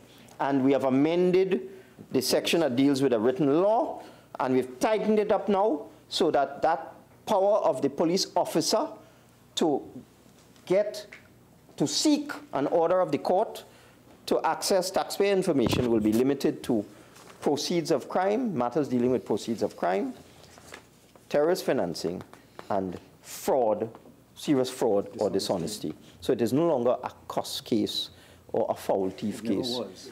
But we have, we have, we have, It, it, we have, clar- it never was. Madam Speaker. Members, members, I would like us all to observe Standing Order 53 as regards members who are not speaking. Please contain your volumes. Minister of Finance. Madam Speaker, I'm advised by Parliamentary Counsel that when you read the chapeau to clause 5, together with the choisir, the choisir clause 5, it makes it very clear that those powers of the police officer were limited to matters dealing, flowing from the proceeds of crime and so on. But we decided to make, the English language crystal clear. So we have an amendment. Yes, we have made an amendment to the legislation for those who don't agree that the chapeau and the choisir of a clause are the governing uh, elements of a clause. So for, for the purpose of interpretation. So we have made it clear now that is, it is choisir. It is the proceeds of crime, terrorist financing, and matters of fraud and dishonesty. It, it is now crystal clear. So this argument about how we trying to harass people and that the police, we, we want to give the police um, powers to go and get tax information if somebody is involved in a, in a petty offense, Madam Speaker, that is now out the window. And, and with respect to the evidentiary test, the question of the level of evidence, I'm advised that's already in the common law because you go, the police officer will have to satisfy a judge that he has reached the evidentiary threshold in order for the judge to order that the, the disclosure of tax information. The way the clause is written, it must be based on an order of a judge. The policeman just can't go to the Inland Revenue Department and grab the information. He must go to a judge who will, who will be satisfied that the, the evidentiary threshold has been reached for the granting of the order. And if that is something as well, if you want to tighten up the language and, and use things like an arguable case or whatever, we are, we are amenable to look at things like that. So, Madam Speaker, but that is fraught with danger as well. I'm advised by the Attorney General, because FATF has said the language in the proceeds of crime, which uses language like reasonable cause and so on, is out. FATF has said definitively, when you put those kind of words into legislation, that you are in breach of the Financial Action Task Force requirements. So, Madam Speaker, I think I have made it, I think I have made it very clear that if we don't pass this income tax amendment bill, crapo smoke we pipe. Soon there'll be no Western Union, no MoneyGram, no credit card, no wire transfer, no foreign currency notes in Trinidad and Tobago. That is what's going to happen if we don't pass this income tax amendment bill. I think I've made it clear that we have bent over backwards to facilitate the opposition. We've put in judicial oversight and we have tightened up the language to deal with the, um, the, the whole question of any written law. And I want to make one final commitment on behalf of the government. The other matters which are not before us are before another joint select committee, which is why they're not on the order paper. And when I made the point that those other bills are not on the order paper, I was very crystal clear. I said the other bills are not on the order paper. They, they are still not on the order paper and not before the House. They are before a joint select committee, which was approved unanimously by members opposite. If you check the Hansard, honorable members opposite unanimously agreed that the other two bills, the mutual assistance in tax matters and the information agree exchange agreements, should go to a joint select committee on their own. Members opposite agreed to that, and those other matters are before another committee. But I give a commitment on behalf of the government that we will reactivate that committee. It has to be populated with members, the new independent senators who have come on board. It has to be repopulated. I will, re, I will ask the parliament to re-establish and reconstitute that committee to, to, to take note of the fact that we have a different independent bench now. The, the committee was populated with others. And reconstituted over the coming week, starting today, going down to next week, Friday, repopulate it, and start the first meeting of that committee on the 10th of December to report back to this House by the 17th of December on the other two matters, Madam Speaker. And with those few words, I beg to move. Honorable members, I will now propose a question for debate. Be it resolved that this House adopt the report of the Special Select Committee of the House of Representatives on the Income Tax Amendment Bill 2018. Member for Naparima. Thank you. Thank you, Madam Speaker. Madam Speaker, I am a bit confused listening to the member for Diego Martin Northeast because he says one thing and then on another occasion he utters something entirely different. And I would like to believe that when somebody says yea, they mean yea, and when they say nay, they mean nay. It was at the first meeting of the Joint Select Committee on this bill, on this bill the Income Tax Amendment Bill, where the self same member for Diego Martin Northeast, he said, and I'm quoting here, and it is resp in response to a question from the member for Port Spain South. She said, she said, she asked him, we would be doing which one, or are we going to take all the three bills? And this chairman, the member for Diego Martin Northeast, responded, we have to do all three. All three bills have been referred to this committee. And Ms. McDonald sought clarification. The Honorable I, I'm, i apologize. The honorable member for Port of Spain South sought clarification. She said, together. And the, and the member for Diego Martin Northeast said, and they are all interrelated. Interrelated. Interrelated, as far as I understand, mean they are connected. They one affects the other, and it would be better if we review them collectively. That is my understanding of what he said then.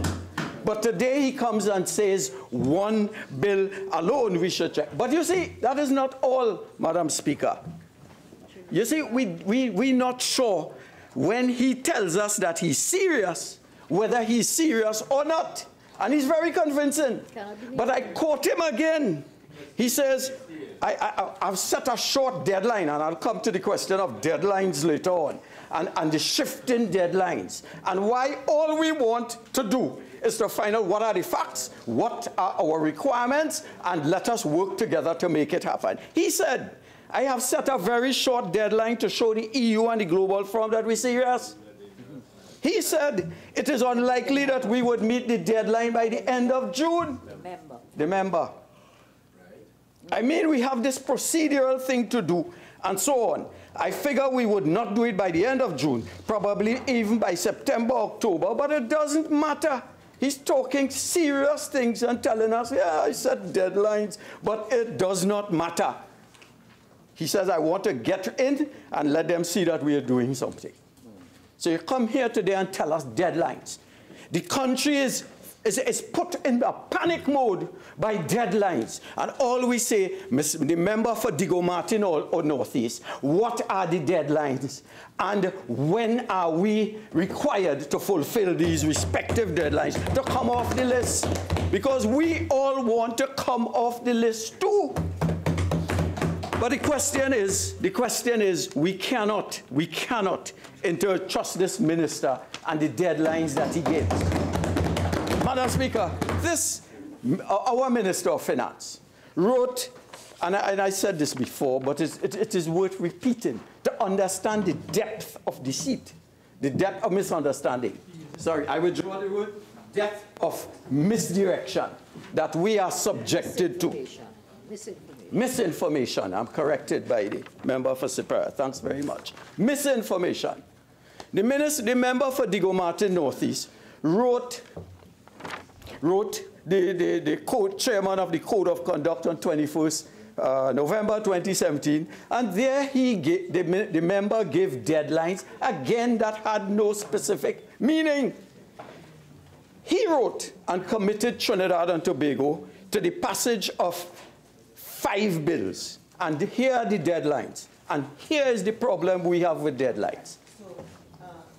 Honorable um, member, I think I understood your point about deadlines as far as this, and you went back beyond the, bill, the report that is before us. And I, I would have allowed that based on something that the uh, minister said in moving the bill. I am not going to allow you to develop carte blanche and issue about deadlines. So if this matter you're referring to goes outside of this, I'm not going to allow it. Okay?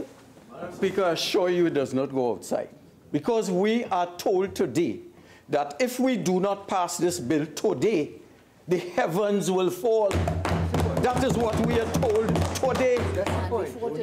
But, but, but you see, you see, Madam Speaker, the deadline has shifted because we, we are told it was the end of November, and then we are told it is the 31st of December in this letter. And today, in our meeting with the Prime Minister, we were told that we have to do these things in time for some meeting in January or February next year, and we have to show compliance. So I, I left that meeting today confused as a citizen of Trinidad and Tobago. What am I doing today, and where does this fit in in the generality of requirements that we have to fulfill? Fulfill, Madam Speaker. Madam Speaker, another a, a significant problem that we have on this side is why it is the members from the other side seem deadly opposed to doing the three bills that we were committed to and which they wrote the, the EU and said that we would, um, we would meet. Why are they not in fact, in fact, Madam Speaker, is disrespect to the opposition. Because we have said on diverse occasions, we have said in the minority report that we would like to come off the, the EU, the, the blacklist, and to do that, we are prepared to work 24-7, night and day, with a tight deadline to get these three bills passed before this House.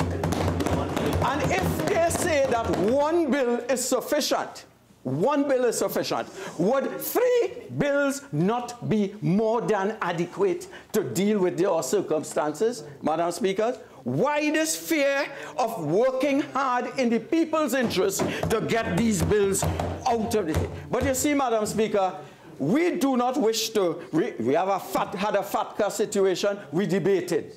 We come today and we debate this bill and, and, and, and, and we spend time going, going over the, all the difficulties with this income tax amendment bill we, we, did, did, we have the double taxation agreements bill to deal with.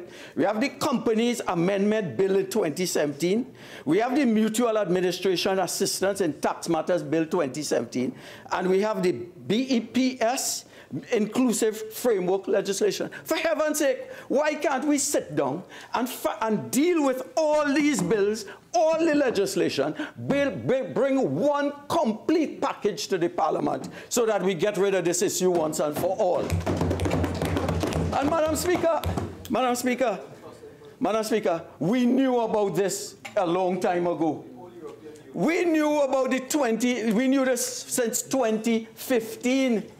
For heaven's sake, 2016, 2017, we went for a fast track review and we failed.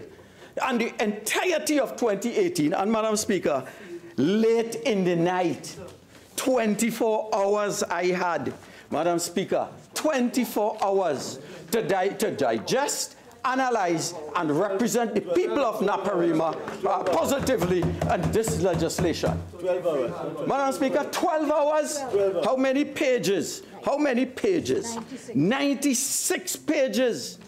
Look, I've seen 94 pages, probably one miss. 94 pages in 24 hours and, and in 12 hours.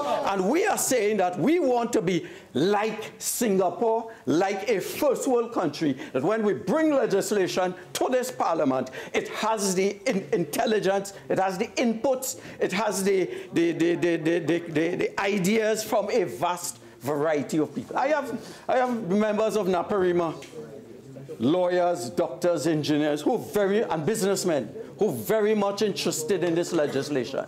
But by the time I got this legislation, it was midnight. I got up in the morning, 6 o'clock. It was only six hours I passed it for them to have a look at. Today, I was, just getting comments from my constituents. This is not the way we run a country in the 21st century, Madam Speaker. This is not the way. This is what we call slothfulness. This is laziness. This is dealing with things at the last moment. This is crisis management. And today, Madam Speaker, what we are witnessing today, what we're witnessing today is organized chaos. Organized chaos.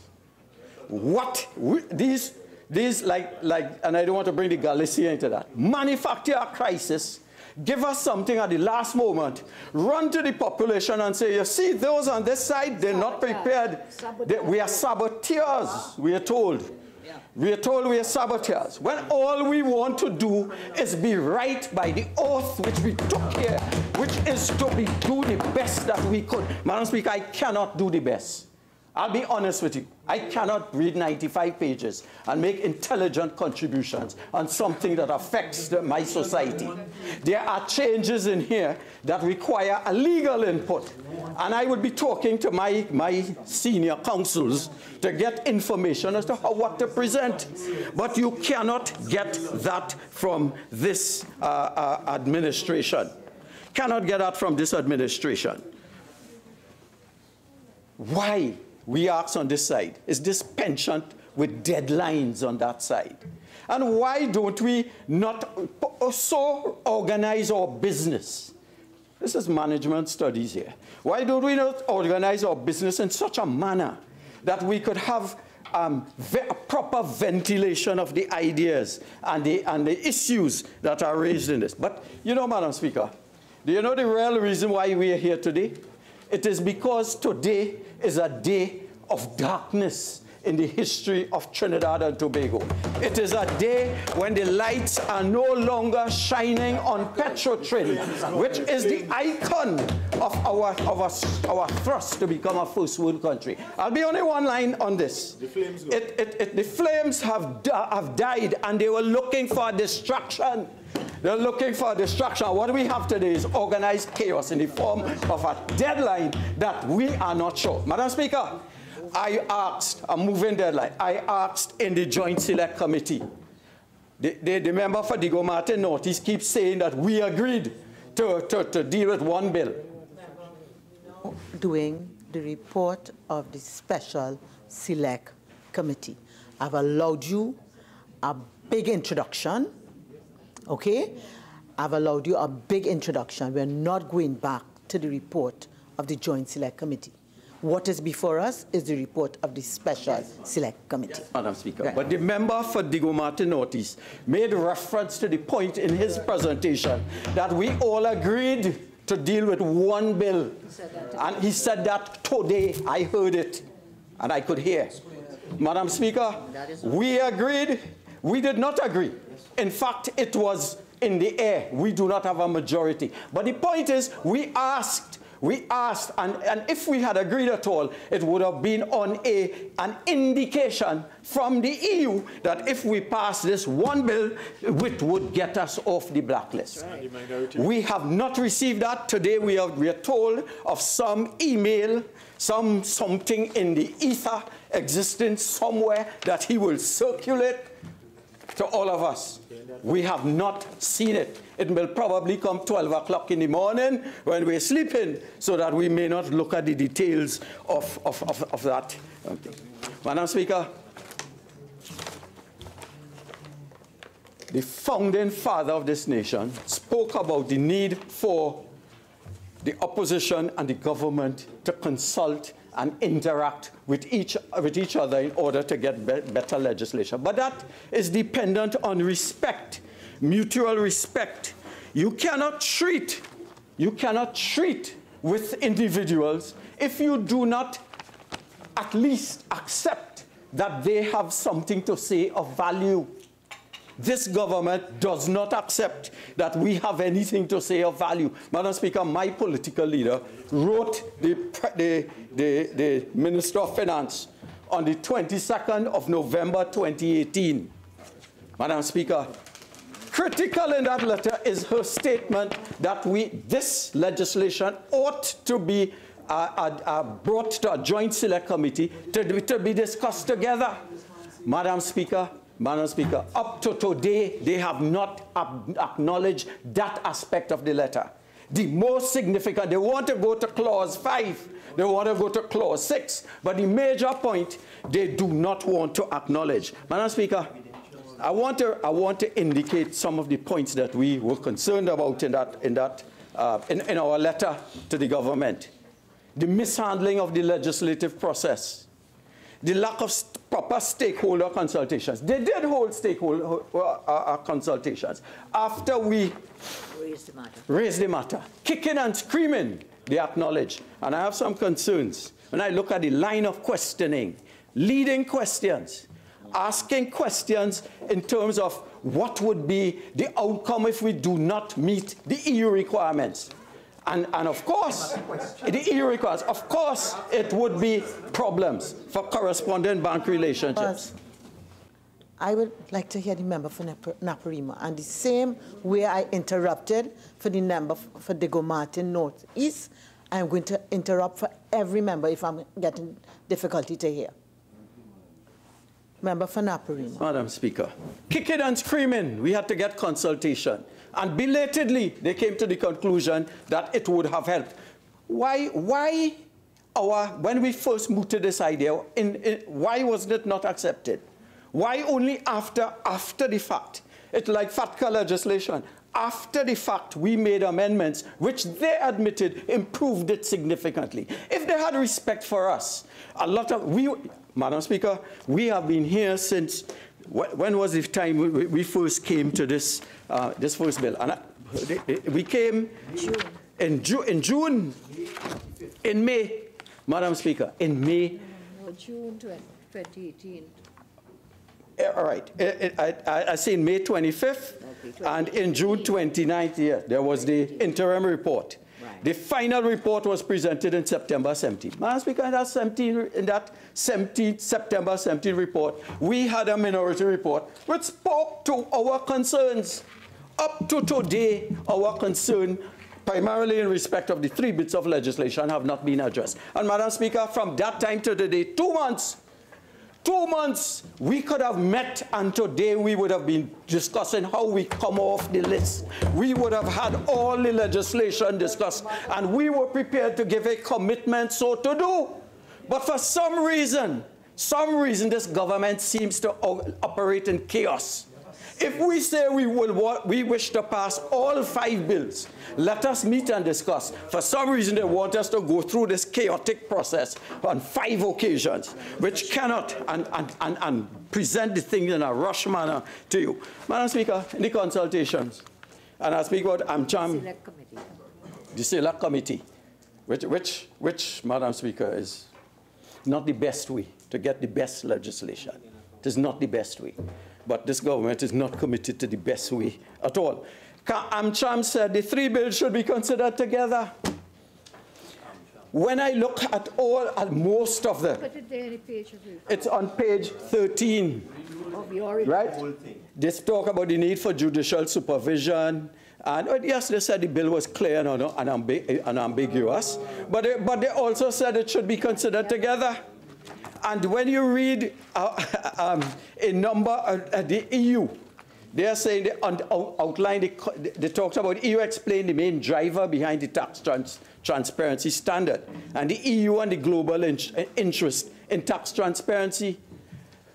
We have, we have no problem. What did no one, no one whom they consulted said that there was any downside to looking at the three bills simultaneously and presenting it as, an, uh, as, as combined legislation before this House. None of them said that.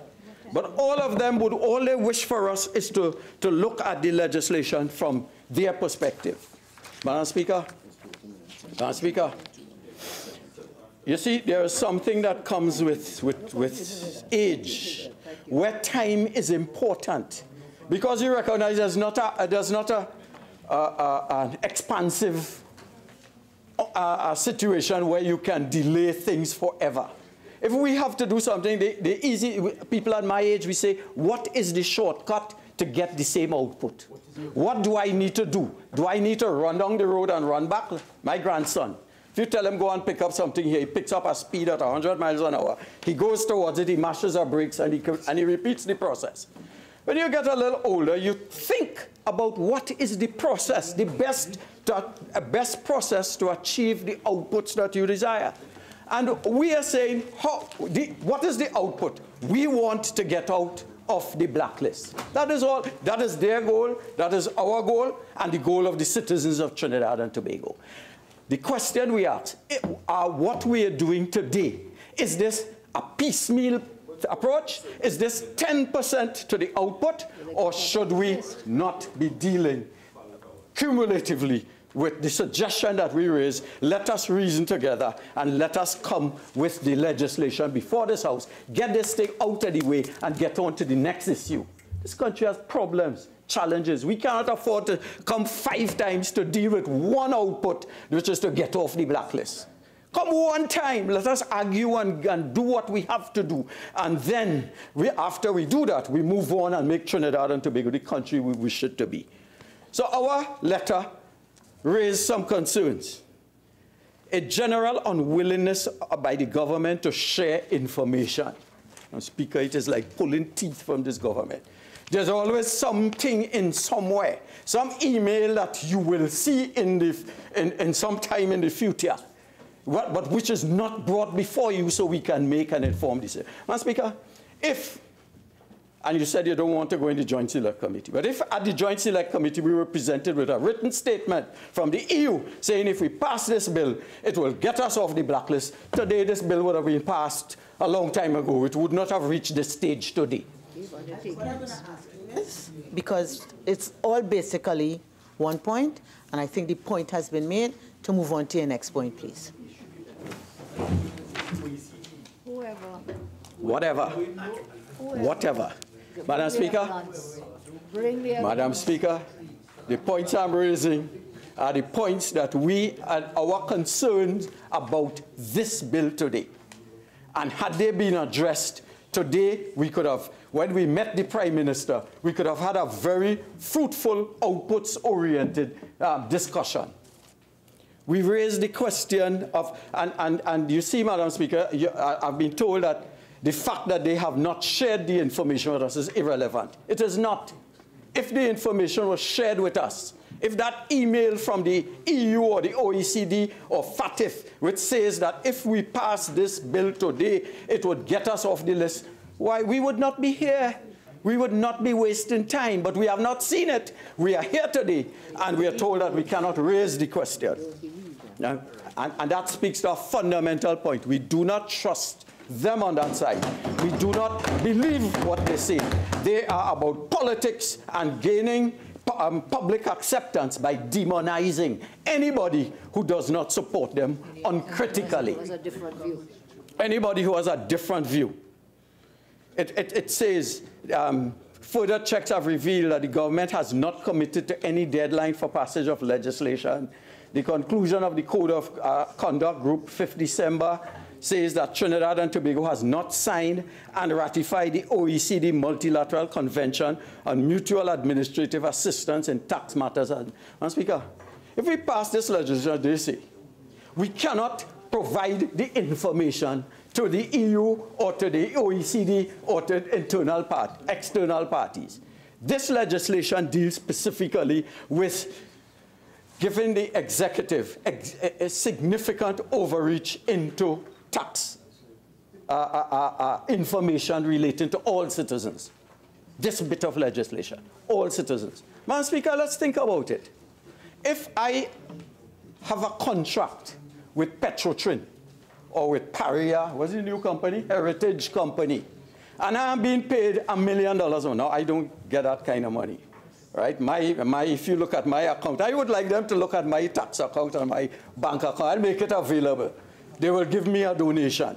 Madam Speaker, if I am getting a contract with Petrotrin, and this is information could be readily accessed by anyone, including those opposite, and, and don't tell me about a 100,000 um, liability for, for some. These things could be done. This is Trinidad.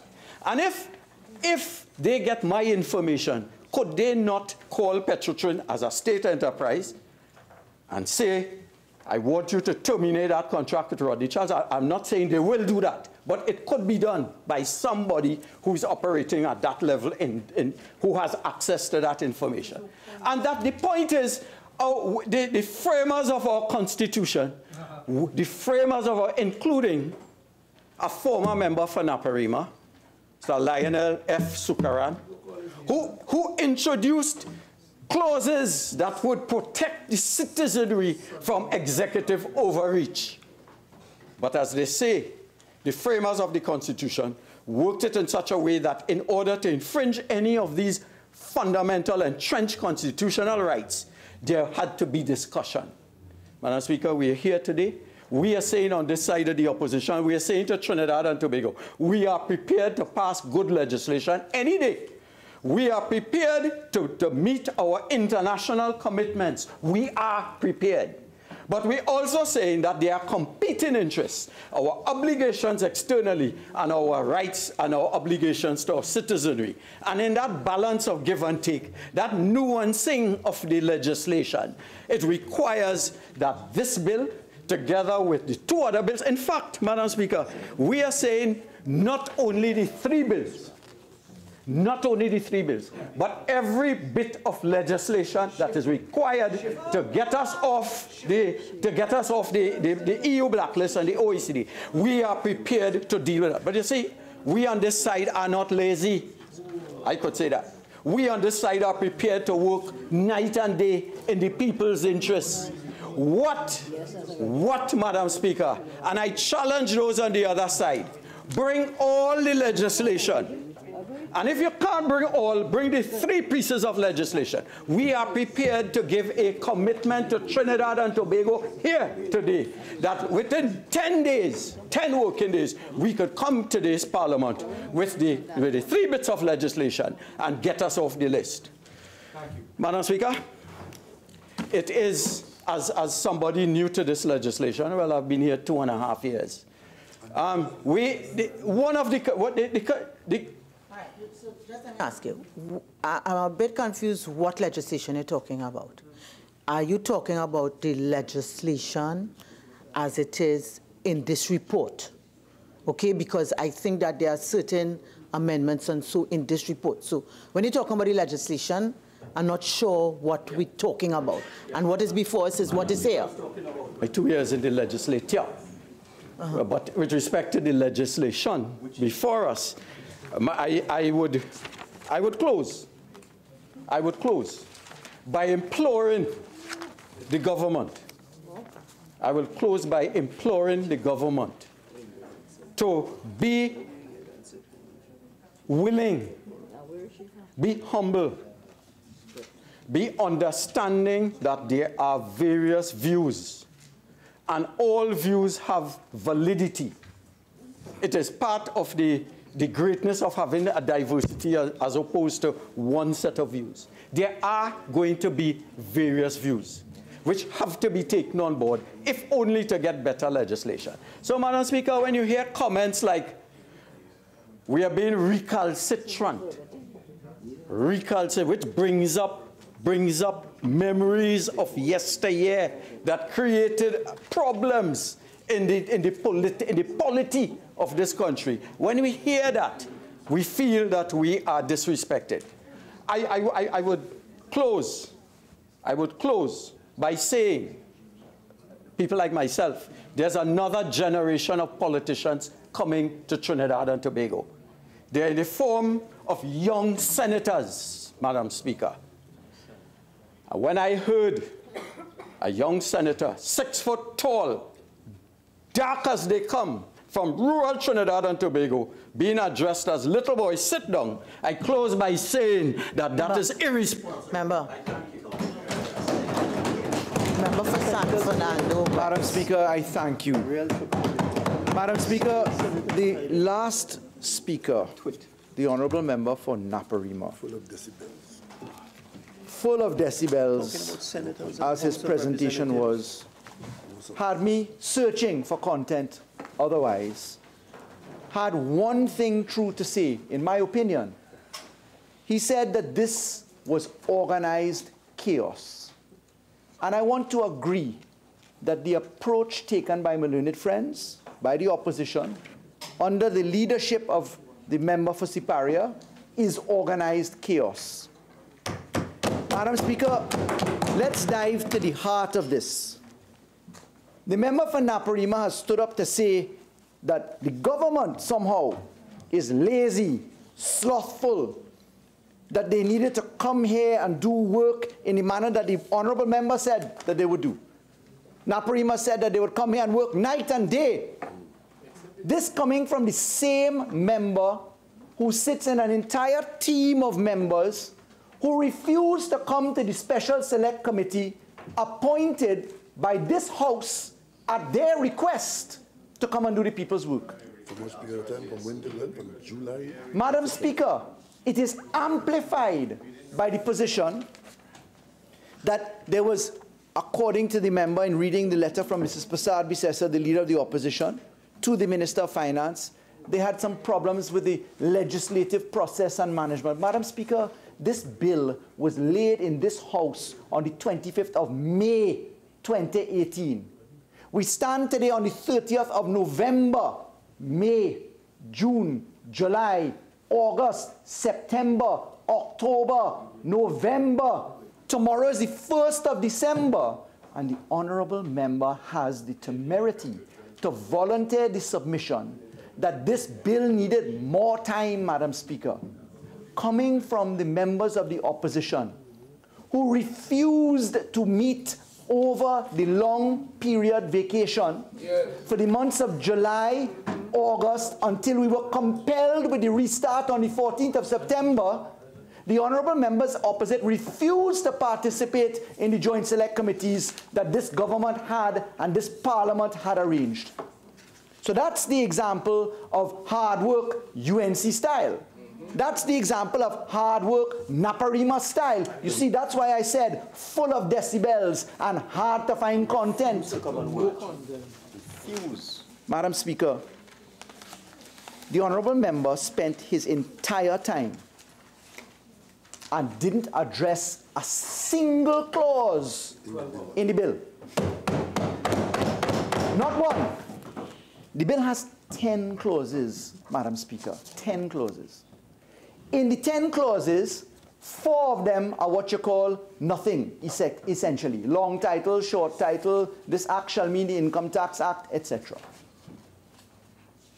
Five of the other clauses are a cut and paste formula from the FATCA legislation. One clause was left, but the honorable member comes here and says, today is a dark day. The lights are off. The government's strategy, according to the member, in organized chaos, according to the member, was to have this debate today because we somehow knew that this debate was going to happen on the closing date for Petrotrin. So strong was that honorable member's submission that he failed to recognize that they put in a minority report in writing, which was debated in this House on the 2nd of November 2018. And the one thing that was not there. And the one thing that certainly was not there was the submission that we designed this organized chaos to have this debate somehow knowing that the UNC would have us here on the 30th of November the same day. I mean, that is a wild fantasy that is beyond measure. But only Naparima could come up with that. Tree bill was not in the. Madam Speaker, the honorable member also said that we had to have three bills. The honorable member has said that there's no reason for not having these three bills. The Minister of Finance stood here for his entire contribution explaining. Bill number one, the income tax amendment bill, is a requirement of two entities the Financial Action Task Force, the Global Forum. Those two entities have deadline dates. On the first hand, with the Financial Action Task Force, the process in writing, as read out by the Minister of Finance, required us to do a post observation reporting, a request for re ratings today, November 30th, by way of an extension of the November 22nd deadline. The honorable member says he was confused after the meeting with the leader of the opposition and the prime minister today, saying he can't understand deadline date, and I, I don't understand, and I don't understand, in, in this bumbling, confused sort of manner of expression, of logic. And the honorable member says that he can't follow that in January you have a step and in February you have a step. Let me put it on the record again, because it's not the first time I'm doing it. The Financial Action Task Force engages in peer reviews. They're called mutual evaluation reviews. They engage in a report, they evaluate you. We were evaluated for fourth round in January 2015 by the UNC, committing us to that. The report was laid in 2016 June. 2016, 2017, 2018 are the three periods of follow-up reporting because they put you in a monitoring process and say you have to take steps to take yourself out of non-compliance as against a category they call immediate outcomes and another category they call 40 recommendations. You have to report on a continuous basis. Tell them with respect to this and that, I'm going to take the following step. The reporting period is due according to the letter read by the Minister of Finance, it was originally on the 22nd of November. It was extended to today's date. The meeting is to be held in January face to face. The plenary session is in February. It's at the plenary where they decide, have you completed what you said? But Naparima, for the life of him, for the life of his own sustenance, cannot understand that that international obligations require follow-up. Naparima, who says we must be like a first world country, we must commit to a process like Singapore, Naparima can't understand that. So, Madam Speaker, they asked for a deadline, they got it. That's on FATF. With respect to the Global Forum, the Minister of Finance was pellucidly clear. The other legislation, without breaching the rule of anticipation, is the Multilateral Treaty Entry and the Tax Information Exchange Act. The Minister of Finance already explained that the Tax Information Act, to do that exchange of information, is FATCA on a cut and paste model to allow you a general mechanism of explaining how you're going to exchange information. On the Mutual Assistance Treaty, you cannot sign the treaty which is a part of the bill. The bill is explanatory framework clauses, and it has a treaty attached to it. That is what the Joint Select Committee is being asked to consider on that. You cannot consider the treaty because you haven't signed it. Exactly. So you can't consider the bill because you haven't signed the treaty which is attached to the bill. But Naparima cannot understand that. Bo, Caroni Central, the Honourable Member, Dr. Tewarie, the member for Caroni Central, sat in this parliament as a member of the NAR government, passed the intergovernmental agreement arrangements for the United States in 1989 under a general model tax information exchange law. That honorable member then participated in a parliament that passed that law sitting in the UNC many years later, last year, in the FATCA debate, the honorable member agreed with his bench and said, we're not going to have any more general law. I stood and reminded the country and the opposition that we required the general law for global forum. I said it then, I say it now. So we cannot get to dealing with another bill without a treaty. FATCA, we debated because we had signed the intergovernmental agreement. So, Madam Speaker, the honorable members opposite have had their deadline dates. They have had their joint select committee request asked, answered by having a committee in the period June to November. A second committee request, we had a special select committee. The members of the opposition refuse to participate in the committee and Naparima stands up today asking us to have pity for him, supposedly in having 12 hours to read the report that we're debating now. But, Honorable Member, if you had bothered to come and do the work of the Parliament by attending at the committee, you would not have had 12 hours. You would have been a member of the committee doing the work that you're receiving a salary to do. So what are you saying? Most respectfully, honorable member, you fail to turn up and you complain when you get it. Which is it, Madam Speaker? And work non-stop, you know. I'll work non-stop, but I'm not coming to work. I will read, but I'm not coming to the committee that will write the report. I mean, that's Naparima's express logic on the floor of this house, you know. That is what the first responder to the Minister of Finance had to say. Not even senior counsel Siparia has stood up in this debate, one would think that the leader of the opposition would be the first responder. Anyway, Madam Speaker, let's get on to the law.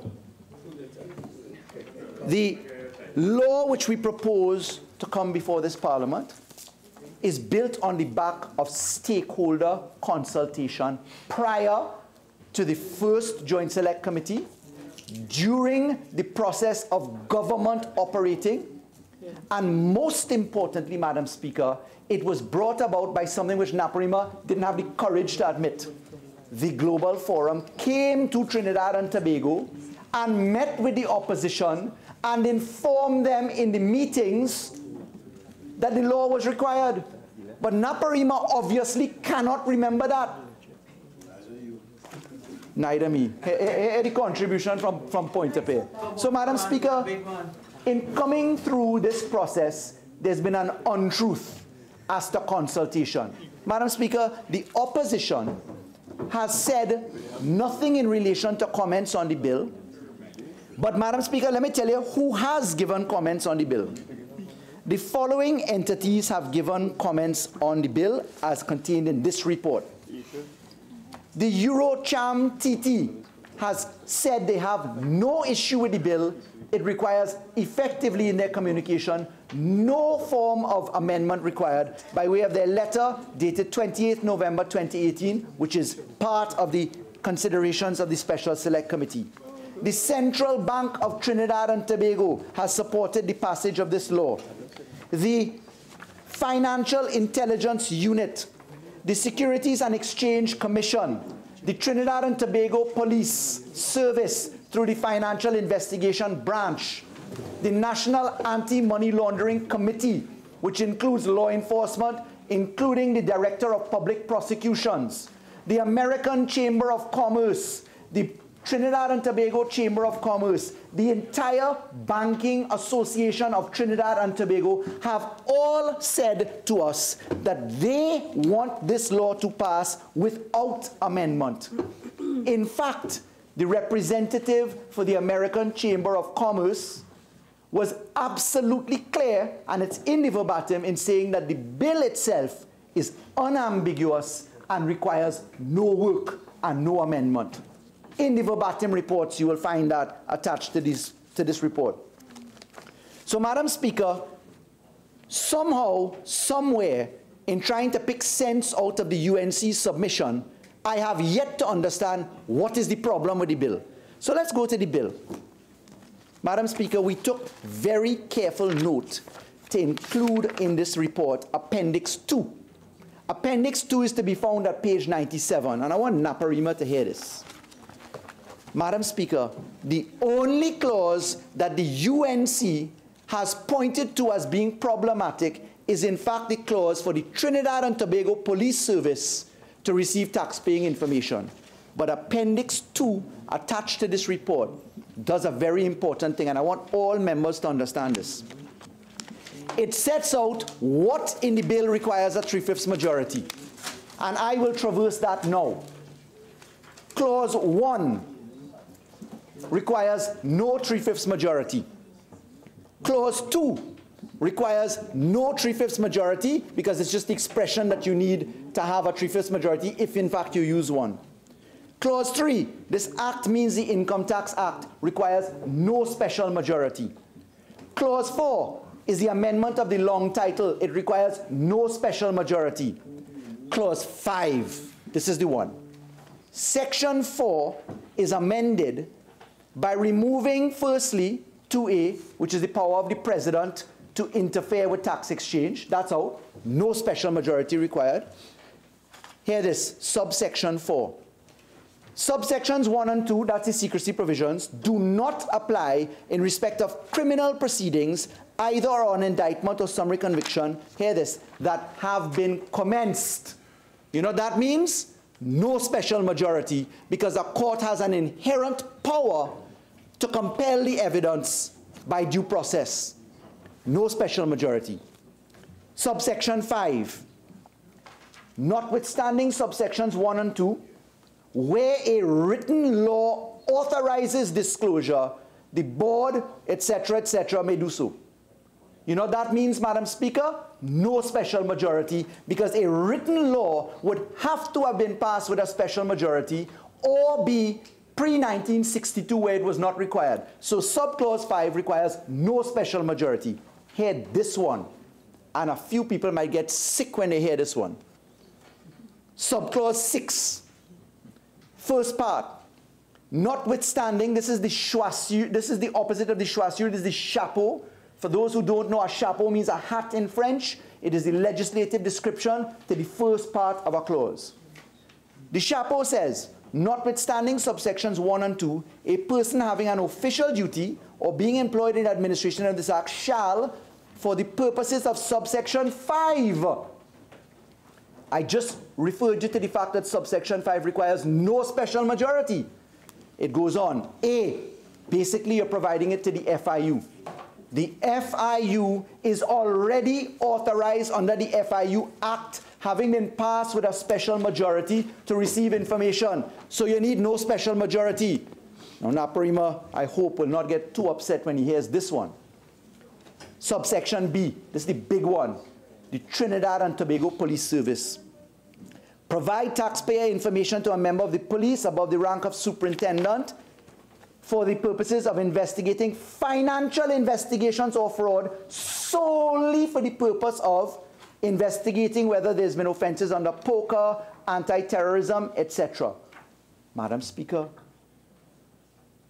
the government has already said, arising out of the only sensible thing that we got from the opposition, which is the minority report in the JSC, which we debated on November 2nd, we've said we'll introduce a judicial step here. But Madam Speaker, we require no special majority to do that. None. Subclause 7. Where the taxpayer information disclosed under this section discloses an offense, the taxpayer information may be used in evidence. No special majority required. Subclause 8.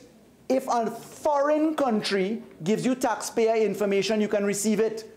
No special majority required because it's coming from a foreign jurisdiction. Now, clauses 6, 7, 8, 9, and 10. These require special majorities.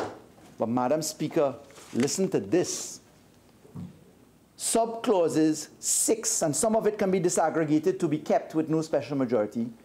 6, 7, 8, 9, and 10 are all word for word conceptually from the FATCA bill, which the opposition agreed to. So, Madam Speaker, the thing which they're tripping over and complaining about as requiring special majority does not require it. The big issue, is the police. We need the police. If we put in the judicial authorization, we satisfy proportionality within the concept of Baroness Hale's argument in Surat. We meet with proportionality within the context of the Constitution itself. So, Madam Speaker, take that off the table. What's left on the table that does require a special majority is only what we have already agreed to for FATCA. It's worse than that, Madam Speaker. Part of this law is just a technicality, and let me explain why. When you look at Clause 8 of the bill, this act is amended after Section 93. Listen to this 93A1. Notwithstanding Section 6, 38, and 40 of the Data Protection Act, it goes on to also mention Sections um, 6, 30, and 31 of the Data Protection Act and Section 93. Madam Speaker, take a guess what? The Data Protection Act, Chapter 2204, by Act of Parliament 13 of number of 2011, the proclamation for that act reads as follows. The proclamation happened, Madam Speaker, on the 5th of January 2012. The UNC proclaimed the act partially. Listen to the sections that are actually proclaimed.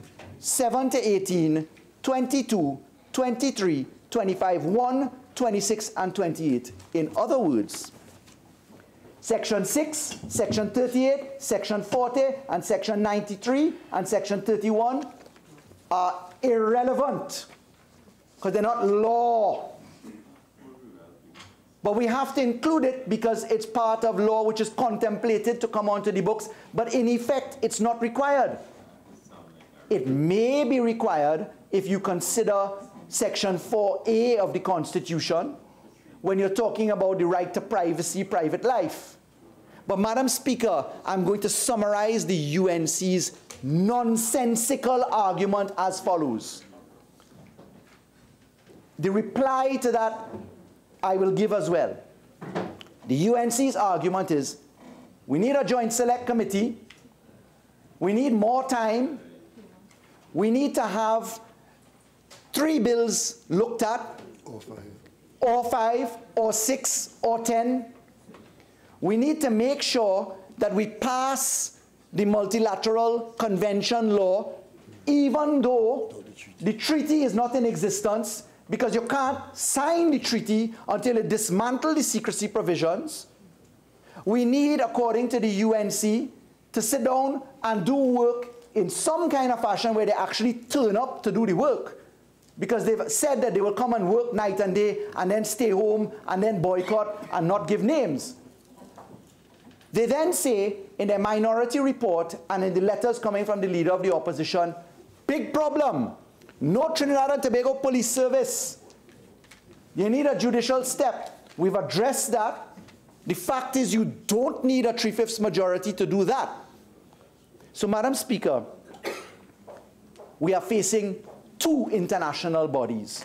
One is the request for re-ratings due today for the Financial Action Task Force in writing. The next one is to address the OECD. And let me explain to the Honorable Member for Naparima. The EU does not regulate the global forum. The Honorable Member for Naparima, having sat down on this piece of law as a Member of Parliament, being paid as a Member of Parliament to turn up here, does not know today between May to now, the honourable member does not know that the EU does not regulate the global forum. He doesn't know that. And we must trust the honourable member to do the work of the people. It is the OECD that does the regulations. The report to G20 leaders comes from the OECD Secretary General. It was published in writing. In that report, at page 32, there are one, two, three, four, five, six, seven rows. In the seven rows, they deal with countries that are compliant, non-compliant, partially compliant, and there is one row with one country in it that says non-compliant, and that is Trinidad and Tobago. But the honorable member for Naparima, who quoted the existence of my grandfather, who was born in 1923, nearly 100 years ago, talking about his work in the Constitution, this honorable member disgracing the seat of Naparima from an intellectual perspective in his argument, in his argument, comes here to say to Trinidad and Tobago that he can't understand that. Because he thinks it's the EU regulating the global forum. And advising the government on that. Advising the country, Madam Speaker, and advising the government on that basis, starting on the wrong leg entirely, Madam Speaker.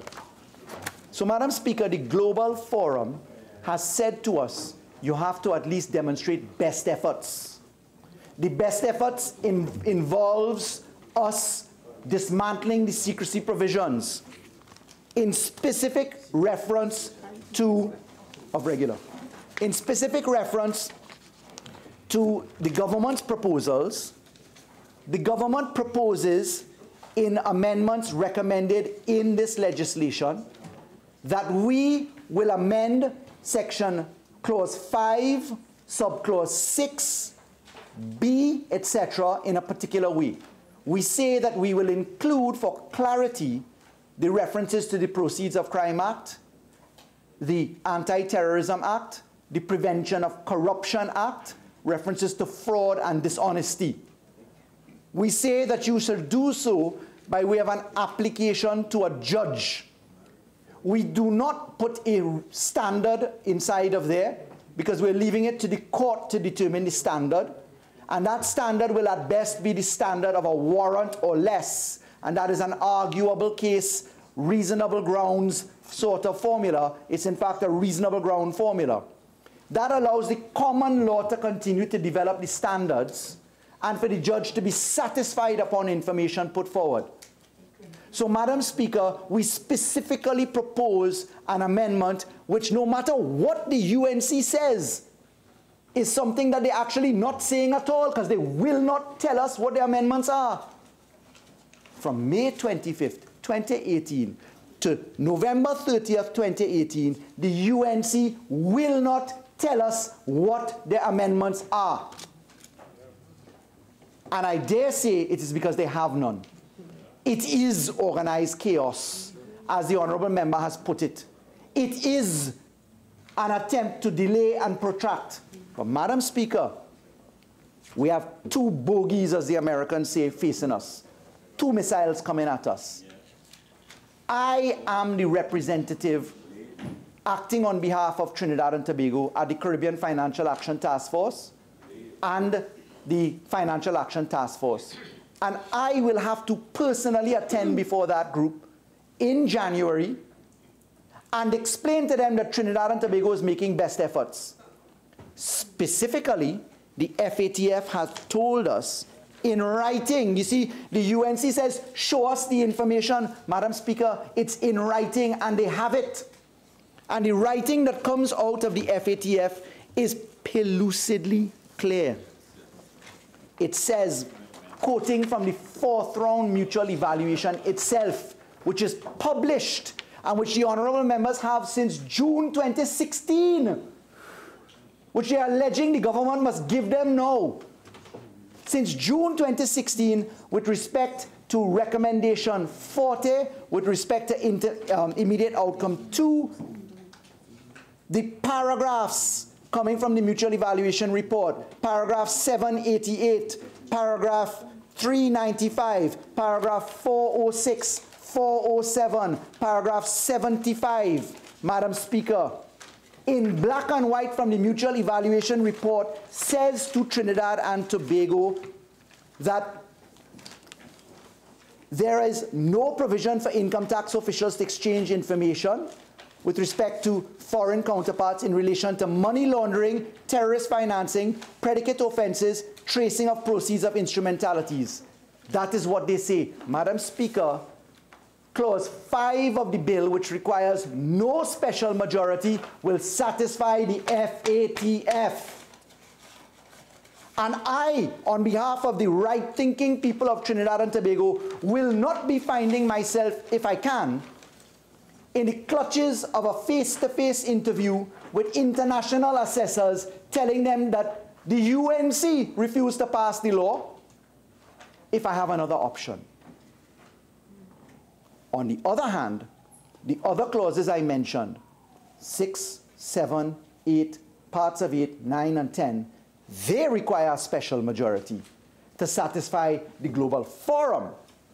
And it may very well be that we have to cleave to achieve.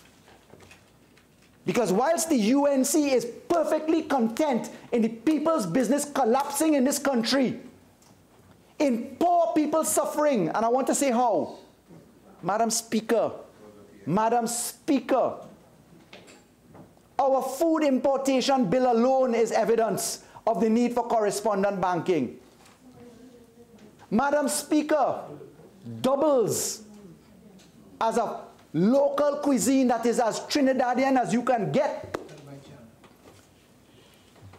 Tabaquite is right. Chana, curry, and flour. Chana, Curry. curry. Flour. Yes, please. And the West, your original time is now spent. You're entitled to 15 more minutes if you wish. Please continue. Madam Speaker, doubles, which is as Trinidadian as you could get, and Tabaquite caught where I was going. Flour, chana, curry, oil, salt, salt, paper, paper, all imported into Trinidad and Tobago. Only thing made is the ladle. The only thing made is the spoon. Perhaps the only thing local is the man mixing it And the pepper. and the pepper. So, Madam Speaker, I'm talking to people of Trinidad and Tobago through you. The Global Forum blacklisting has been described not as the sky will fall. Naparima knows that. For a member who constantly quotes Singapore, oh God, learn something now from Singapore. Naparima again, spinning. You know what to do. So, And Madam you- Speaker- You invited, you, you invited back. It's not a conversation. You invited back when you control itself. Thank you, Madam Speaker. Madam Speaker, the fact is that we have to deal with the consequences of the FATF and the Global Forum. And I was making the point before Naparima interrupted to say that the Global Forum is not that the sky will fall. It is that the food importation items, the ability to make doubles, the ability to buy medicine for heart patients, for diabetes, become more difficult and more expensive progressively. Because there's something called enhanced due diligence, which is part of this report. In this report, the Bankers Association explained it in detail. The Bankers Association uh, gave the explanation as to what remittances are. People getting cash from their relatives who live in abroad, who send in money for them, chirrup, chirrup, as we say in Trinidad, for their old granny and their old mother or their child. That money at Western Union and money transfer is what the UNC will ensure can't pass through. And Naparima stands up saying things which he knows not to be true. The sky going to fall. No, sir. It's a death by a thousand cuts in a painful stretch where it becomes more and more expensive. And it is indefensible, Madam Speaker. Indefensible. Madam Speaker, this country is at crisis point. The opposition wants to say to us now, we don't trust the government. I, I don't mind that, you know. That's parliamentary points. We ain't believe in the government. They want us to show them everything, which we show. We give them the letters, the reports. We rely upon them being public documents. We rely upon them to have met with the players themselves, the Global Forum. Madam Speaker, the last government sat in the FATF circle, the CFATF circle, for five full years. In the five years I was in that parliament, I never once heard Anand Ramlogan or member for Siparia talk about any of these obligations in the manner that we have. We never asked them for a report because we read them, we knew where to find them. We didn't ask them to take us to the meeting and pay for them to listen. We didn't say to them, send the Global Forum and have them meet us. We asked the Global Forum to meet with them because we so don't trust them. We said, listen, you go and talk to the people yourselves. So, Madam Speaker, every single goalpost gets shifted. You want meeting? You want joint select committee? No November. We take joint select committee. We're not agreeing in the joint select committee when we come to the House, even though we agreed unanimously to come and take the one bill. We have some submissions in the minority report. We're not telling you what they are. Check the South African law. We went, we pulled up the South African law. We modeled the amendments to meet the South African law. We sent it to the leader of the opposition in two written letters. You know what we were met with? Well, forget the South African law thing now. How about if you now consider something else? We said, okay, you want to consider something else? Come back in a debate on the 23rd, as we did, of November. They say they wanted another committee. We said, sure, take another committee. This time, nah, hard luck. We ain't giving any no members. We're not, up, we're not attending. They come, they say, they say to the parliament, poor me, Naparima. I only had 12 hours to read a report. But don't worry the fact that I didn't turn up in the committee where I was supposed to be, to do the work, to pay attention, so I wouldn't have 12 hours. Madam Speaker, the first item of business today was, um, was an objection under the standing orders by Siparia. To do what? To delay the debate. Procedural motion. Let's stop the debate. We didn't have time to consider the report. Was the argument coming from Siparia? Senior counsel. Procedural delay again. So, Madam Speaker, the ball is in the court of the UNC. Explain to the country how you could have agreed to FATCA, which is the replicas of clauses 6, 7, 8, 9, 10 of the bill. You agreed to everything in the FATCA bill. Now is a problem? To discuss what? To come and say what you agreed to and you pass as law unanimously should not be law? That's the argument. The first five clauses don't require special majority and will take us out of the jeopardy of FATF. And the one clause they have a big problem with is the police having taxpayer information. Big problem with that. We've added in the judicial scrutiny, and it's a simple majority issue, Madam Speaker. I, for the life of me, would like somebody opposite for today's debate, debate to stand up with the bill and tell the country what the problem with the clauses in the bill are. I would like somebody opposite to comply with the correct standing orders and actually put the amendments into writing. I would like somebody to tell me why you didn't turn up for the special select committee where all the stakeholders that you asked to come back again because they came before you know turned up. I would like somebody opposite, somebody opposite to tell me tell what the, the, mischief is so that the country will hear. Let the country hear. Madam Speaker, I don't know how honorable members opposite could look at this issue and have no position other than say, let me talk. Let's talk, but we're not turning up to talk. Madam Speaker, the Honorable Prime Minister told me that there was a meeting earlier today with the leader of the opposition. And a whole team. A team, a recorder, a note taker, a cameraman, a lawyer. You know what you call a, a, a, a band of people? In that meeting, not a single submission as to what the problem is. In the clauses of the bill. In the clauses of the bill, as the Honorable Prime Minister says. So, Madam Speaker, I'm at a genuine loss. The Petrotrin Gallery thing didn't work. We somehow fabricated on May 25th that, the, that November 30th was going to be a day to discuss an issue of national concern, which this bill is, somehow. Pointe-à-Pierre will explain that to me. Couva North will explain that to me. And the people through you, Madam Speaker, will hear from Tabaquite and Caroni Central. Because today is the day. There's no bluff. There's no gambage. There's no gallery. This is the business of the people of Trinidad and Tobago. I don't have a name here, Madam Speaker. My name does not appear on any sign in this parliament. I'm San Fernando West. The Prime Minister is Diego Martin West. That's 60,000 people sitting in two seats right here. This is the people's business. And I'm very genuinely upset that there could be a cavalier approach by the members opposite, and we can't get a shred of understanding from it. It's up to you. We'll see what you do. Because we here are prepared to vote. And when the Prime Minister said all of us are available to vote, we are still here, available to work. And our members who may be absent are on official people's business.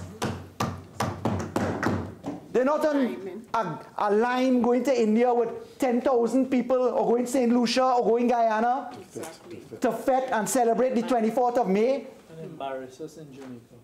That's not what they're doing, Madam Speaker. They're on the people's business. I don't know how the Prime Minister and Minister Young do it. They get on a plane and go for one day to a meeting and come back same day. Minister Young traveled all the way to Japan. Took him three days to get there, one day of meetings and three days back. Arrived at the airport with his eyes bloodshot red and went straight back to work. You think my friends opposite have a track record like that? No. Madam Speaker, I think I've said enough. The committee stage of this bill, when we get it, I think will speak volumes. I thank you. Member for Caroni Central.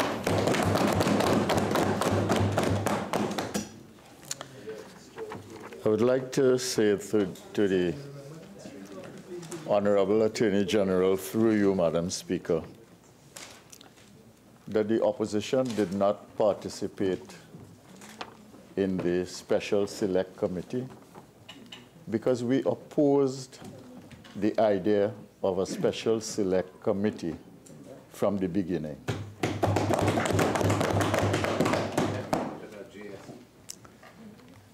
If we would read the standing orders of this Parliament, we would see that there is an official period from July to the end of August in which members of parliament are given the liberty, because it is in the standing orders, to be able to plan their business outside of parliamentary obligations. And although the members on the opposite side have violated those standing orders on occasion, the members of the opposition have a right, if they have to travel or do business other than parliamentary business, to do that during the period between July and early September, the end of August, when they are guaranteed that time by the parliament. So for the member for San Fernando West and Attorney General to speak about the fact that they did not want to meet during that period, I think the member for San Fernando West would better explain why it is, given the mandate of handling three bills, they only handled one bill and brought it here as a full report of the committee. Now, the Attorney General, you know, likes to be pejorative, likes to ridicule members of the House, and you were sitting there, Madam Speaker, and listening to his speech as I was listening. But if you say anything here in the House, he's one of the first to get up and cite a standing order. The, he likes to use scare tactics, as he does here, you know, all the things that would happen.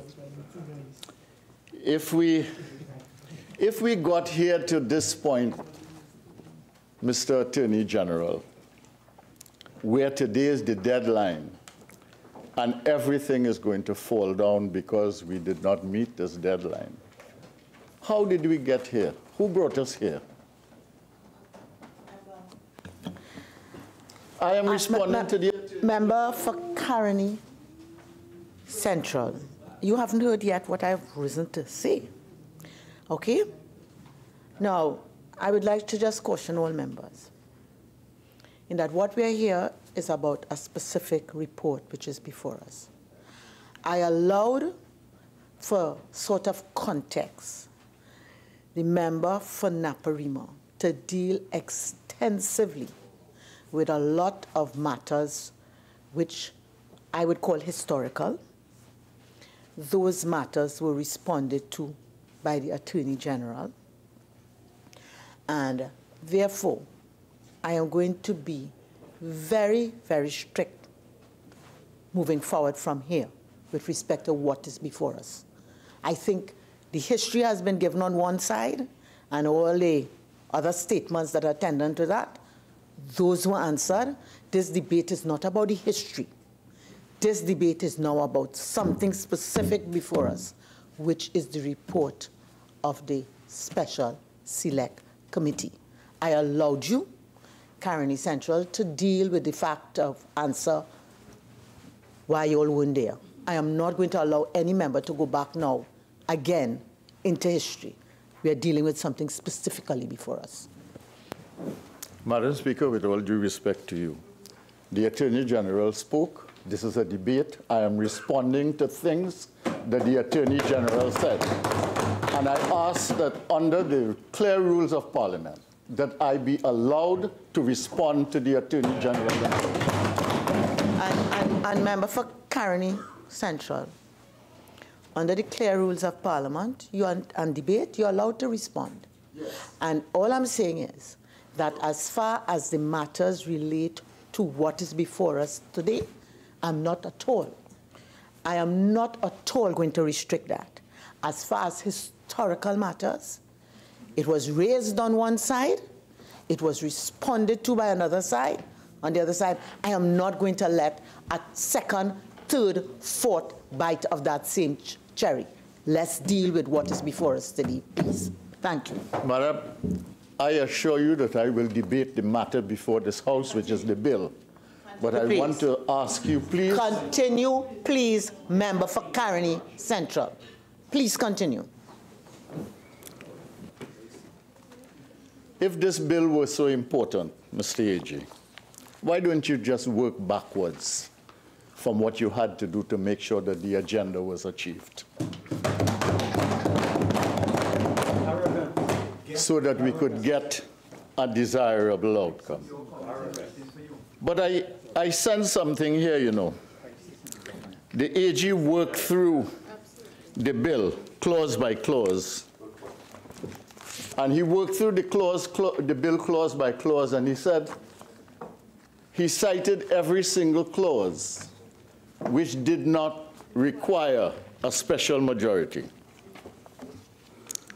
And he went through the clauses, I think he identified them as 6, 7, 8, 9, and 10, which require a special majority. And he went on to say that he is not going to go before any international committee and have to explain why the government, so to speak, the country, is not ready. And he is not about to say that he is not able to deliver because of the opposition. And I sense that what the AG is saying Madam Speaker, is that he is prepared in this bill to take out the clauses that have to do with the special majority and to pass an innocuous bill in order to make an international arrangement. If the AG does not mean to say so, I'm prepared to sit down for him to respond. Madam Speaker, the honourable member giving way, the debate is on. It may be premature of me to make that recommendation if the, honorable, if the honourable members are agreeing to pass the bill. So the ball is in your court. The ball is in all of our courts. Yeah, yeah. So,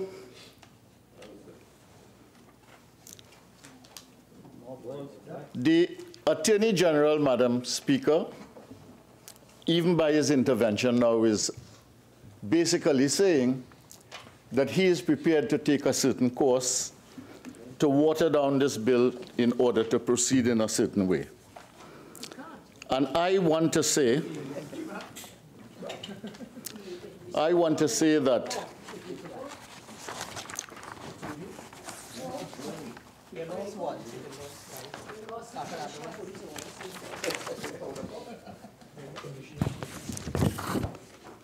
part of the problem that we have in handling legislation in this parliament is the way the government indeed handles legislation. So, for instance, Madam Speaker, the AG shared with us some time ago, about a year after they came into office, a legislative agenda. And if you look at the legislation that we have had before this House since that time, there is a very wide gap between the stated legislation agenda and what we have been discussing in this House. The,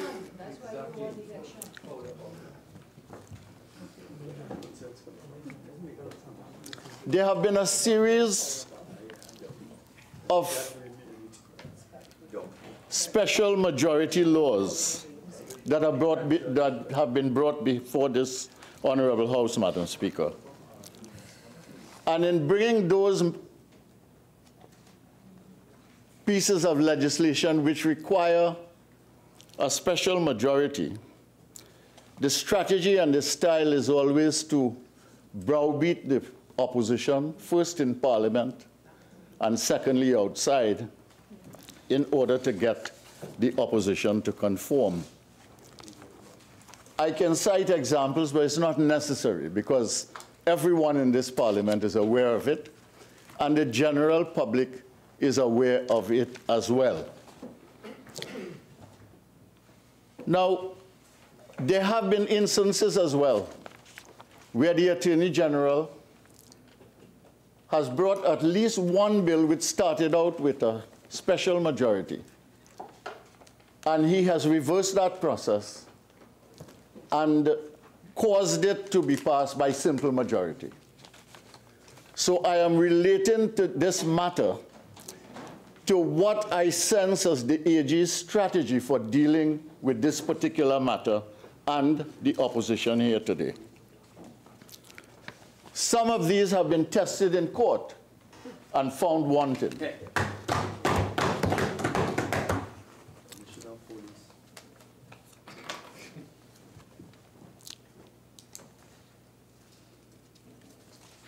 Now, wherever they've had bills that require a simple majority, any amendments that we put forward never count. They're never taken into account. And when there is a bill that requires two-thirds majority, as long as we were to articulate them or put them forward, they suddenly are confiscated by the government and then brought as the amendments in the House of Representatives. This, this is their pattern. Remember for Naparima, certain language, please. All right? Please. Member for Garrison. Okay. This is their pattern. But this particular bill here today, the AG also mentioned about the Tax Information Exchange Treaty of 1989, of which I was part. And that was a different time. I remember in the committee meeting when we met on that matter, the AG wasn't even aware, aware that we had this exchange treaty agreement with the US. And it was the head of the BIR who indicated to us that this law was in fact passed in 1989. And the, the, the double taxation agreement, sorry. And uh, what's that? It is true, it's a fact. And, uh, and that bill was the one that made it possible. And it is a different time today. It's a more complex time. It's a very difficult time. And it is not that we are not aware of the consequences for banks, Madam Speaker. We understand what is happening in the world system.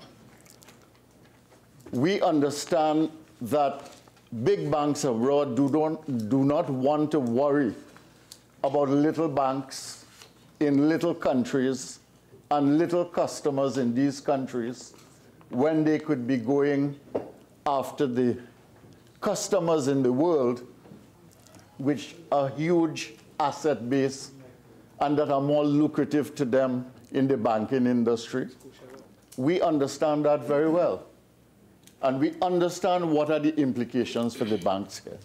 We are very sensitive to it because we understand it's not just a banking problem, it's a customer problem, and it's a country problem. We know the consequences for business. If your banks are in jeopardy and in difficulty, it is very hard to conduct international business.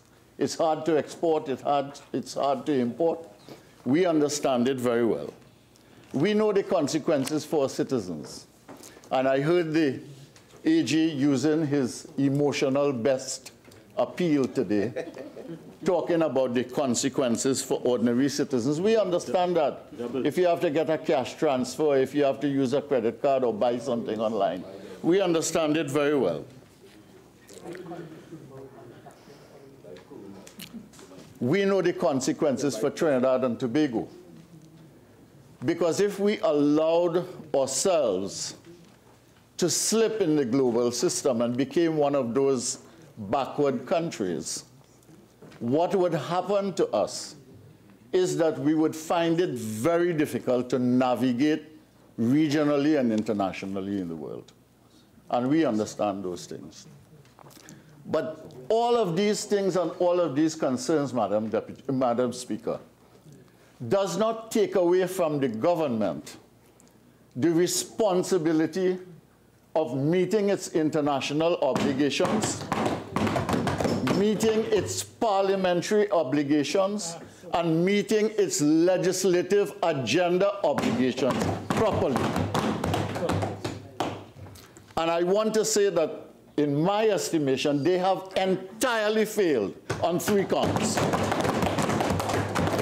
They have mismanaged their international relations because all the issues he is accusing the member for Naparima about not understanding, it is because they were confused about the obligation to the OECD, the Global Forum, FATF, etc., etc., that we end up in this position. And you have one Minister of Finance following one agenda, and the AG following another agenda, and all of them cracking into one another. Don't come here and blame the opposition for your incompetence. And then come in the parliament and blame us, set up meeting on the political platform to blame us and to vilify us and get and get the business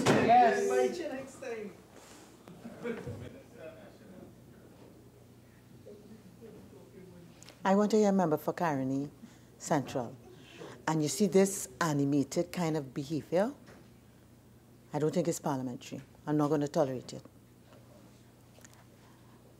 Member for Caroni Central, please continue. And uh, so you do all of these things. You, you make mistakes. You cause blunders you get us into a situation where always, all of these things, every one of them is a crisis. What about the clause? I know the clauses. I could tell you. I could tell you. I wouldn't be sidetracked by you. You always want to tell us who should speak on this side. But for Caroni Central, if you just ignore the crosstalk and direct your contribution here, I'm, I'm sure you know you wouldn't be sidetracked at all just direct it this way. And I will just advise the members of the front bench on my right to please observe Standing Order 53. I would like to hear Caroni Central. Please. As I said, you created a crisis, and the end result is that we are here. And not only did you now politicize it on the platform, politicize it here, but you got the business community to get up and speak about it. You say here that all of them, everybody, want the bill to pass without amendment. That is not true. That is not true at all. They want the bill to pass as we want the bill to pass.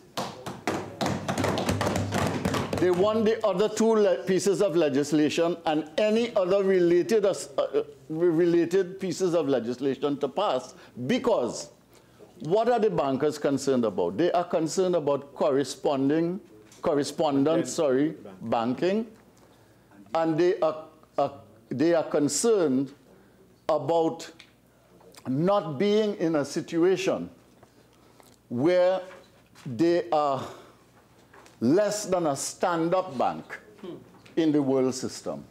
That is what they are interested in. And they are not concerned about some of the issues here, anything other than what would give them the integrity as a banking, uh, as a bank or as a banking sector. The business community too wants to do its business, and that's what they're concerned about. But we in the legislature have to be concerned about more things, including, and this is an important aspect of parliamentary duty, which is public interest, public good. That is part of it. It is a very important part of it. And you can't come here last minute creating a crisis, creating a situation in which you take us to the edge, so to speak, telling the country that we are taking you to the edge, as you did with FATCA, as you did with the anti-gang bill, and as you are now doing with this income tax bill. And as the Minister of Finance rightly said, you have two bills there. In committee suspended now because of how you have handled that particular Joint Select Committee, which also need to be addressed in this country. Now, in this document here, we have... 53, standing order 53. Aye. Members, Diego Martin Northeast, Port of Spain, North, could you all kindly please contain the talk and the level? Okay? We are here to listen to member for Caroni Central. Please continue, member. Thank you very much, Madam Speaker. In this particular document here, we have the report. Okay? We have the amended bill. We have the report on the stakeholder consultation. We have Well, I will, I will stop at that point because I want to make a few points on some of these.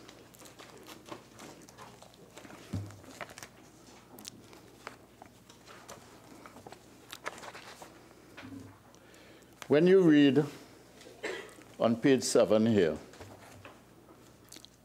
you read forum transparency and exchange of information for tax purposes. And you have here 2.16. According to the Global, Global Forum on Transparency and Exchange of Information, I simply want to point to one phrase implementation of standards of transparency and exchange of information for tax purposes. So, in a fundamental way, this whole bill is about exchange under conditions of transparency. And yet, in this bill, in which the major concern, Madam Speaker, is transparency of transactions involving customers with bank accounts who are under the jurisdictional authority of the particular signatories to these um, agreements. One of the issues that has come up in the debate in the Joint Select Committee and in the Parliament and in the letter of the leader of the opposition to the Minister of Finance is the question of transparency and distribution of information. So here you are debating a bill about transparency and free exchange of information. And you don't have transparency here and free exchange of information among the members of the parliament. What a shame.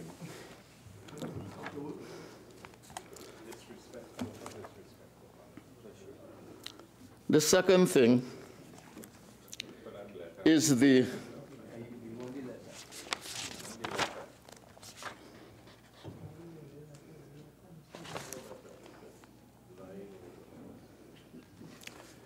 The second thing is that the way the report is written, Madam Speaker. If you look on page 10, 2.34, it says here,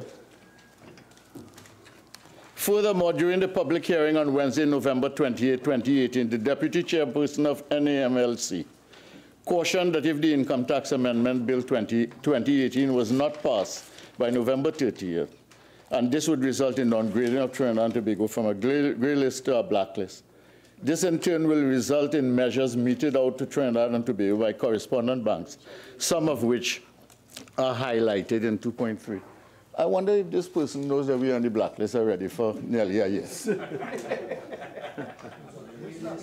I, I wonder if the government knows that.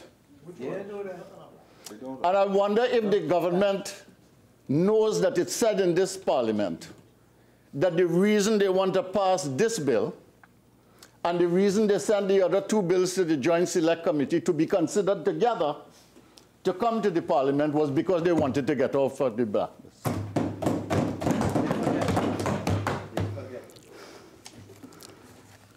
And they want to come and accuse us of laziness and sloppy thinking.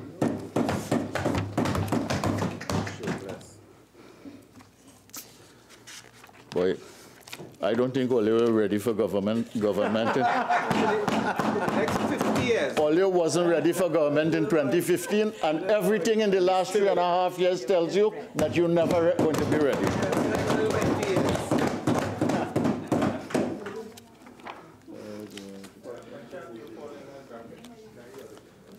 I want to say that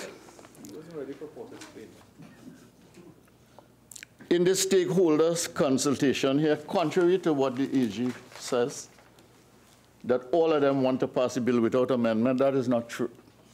There are issues that are raised here. I will not raise the matter of AmCham because it concerns my son. But whatever he said, I can tell you it comes from a good, solid, independent mind. And the second thing that I would like to say is that there are other chambers in here, other than AmCham, that mention the fact that they have concerns that they want addressed in the legislation as well.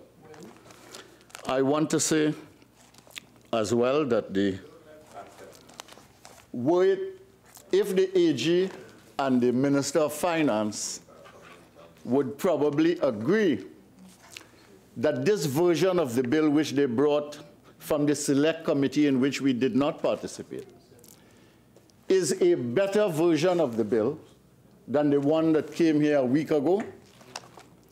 If they would agree to that, I would like to say that they should say thank you. Mm-hmm. Yeah.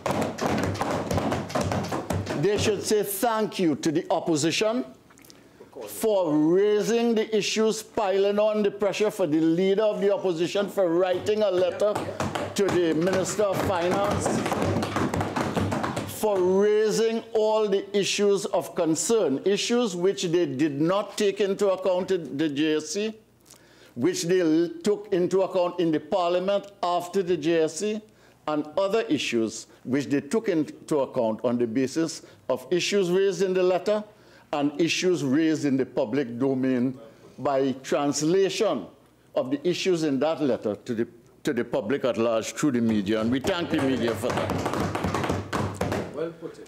So, this might be a better version of the bill. But notwithstanding that, it is not the desirable version that we want that is complementary to the other two. What exactly is wrong with it? I do not wish I do not wish to engage the AG in that matter. The AG had 45 minutes to speak, and he says, I am engaging the bill. What you, please leave Caroni Central. Member for Caroni Central, you, you continue, please. Direct your contribution this week. Okay. So the opposition resistance has been a significant contribution to democracy in this country.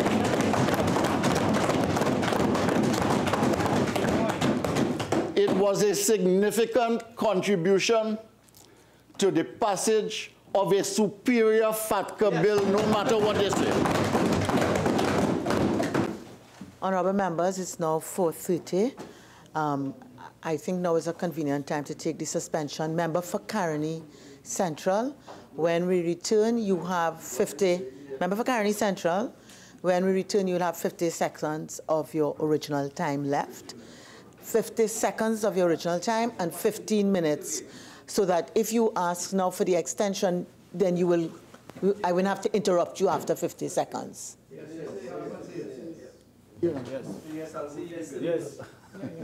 Yeah, we taking the extension. I'll take the extension. Is the extension 50 seconds or 50 seconds plus? It will be 15 minutes and 50 seconds. You Okay, have so I left. can continue. Yes. Honorable members, uh, we'll now take the suspension. We return at 5 o'clock. This House now stands suspended.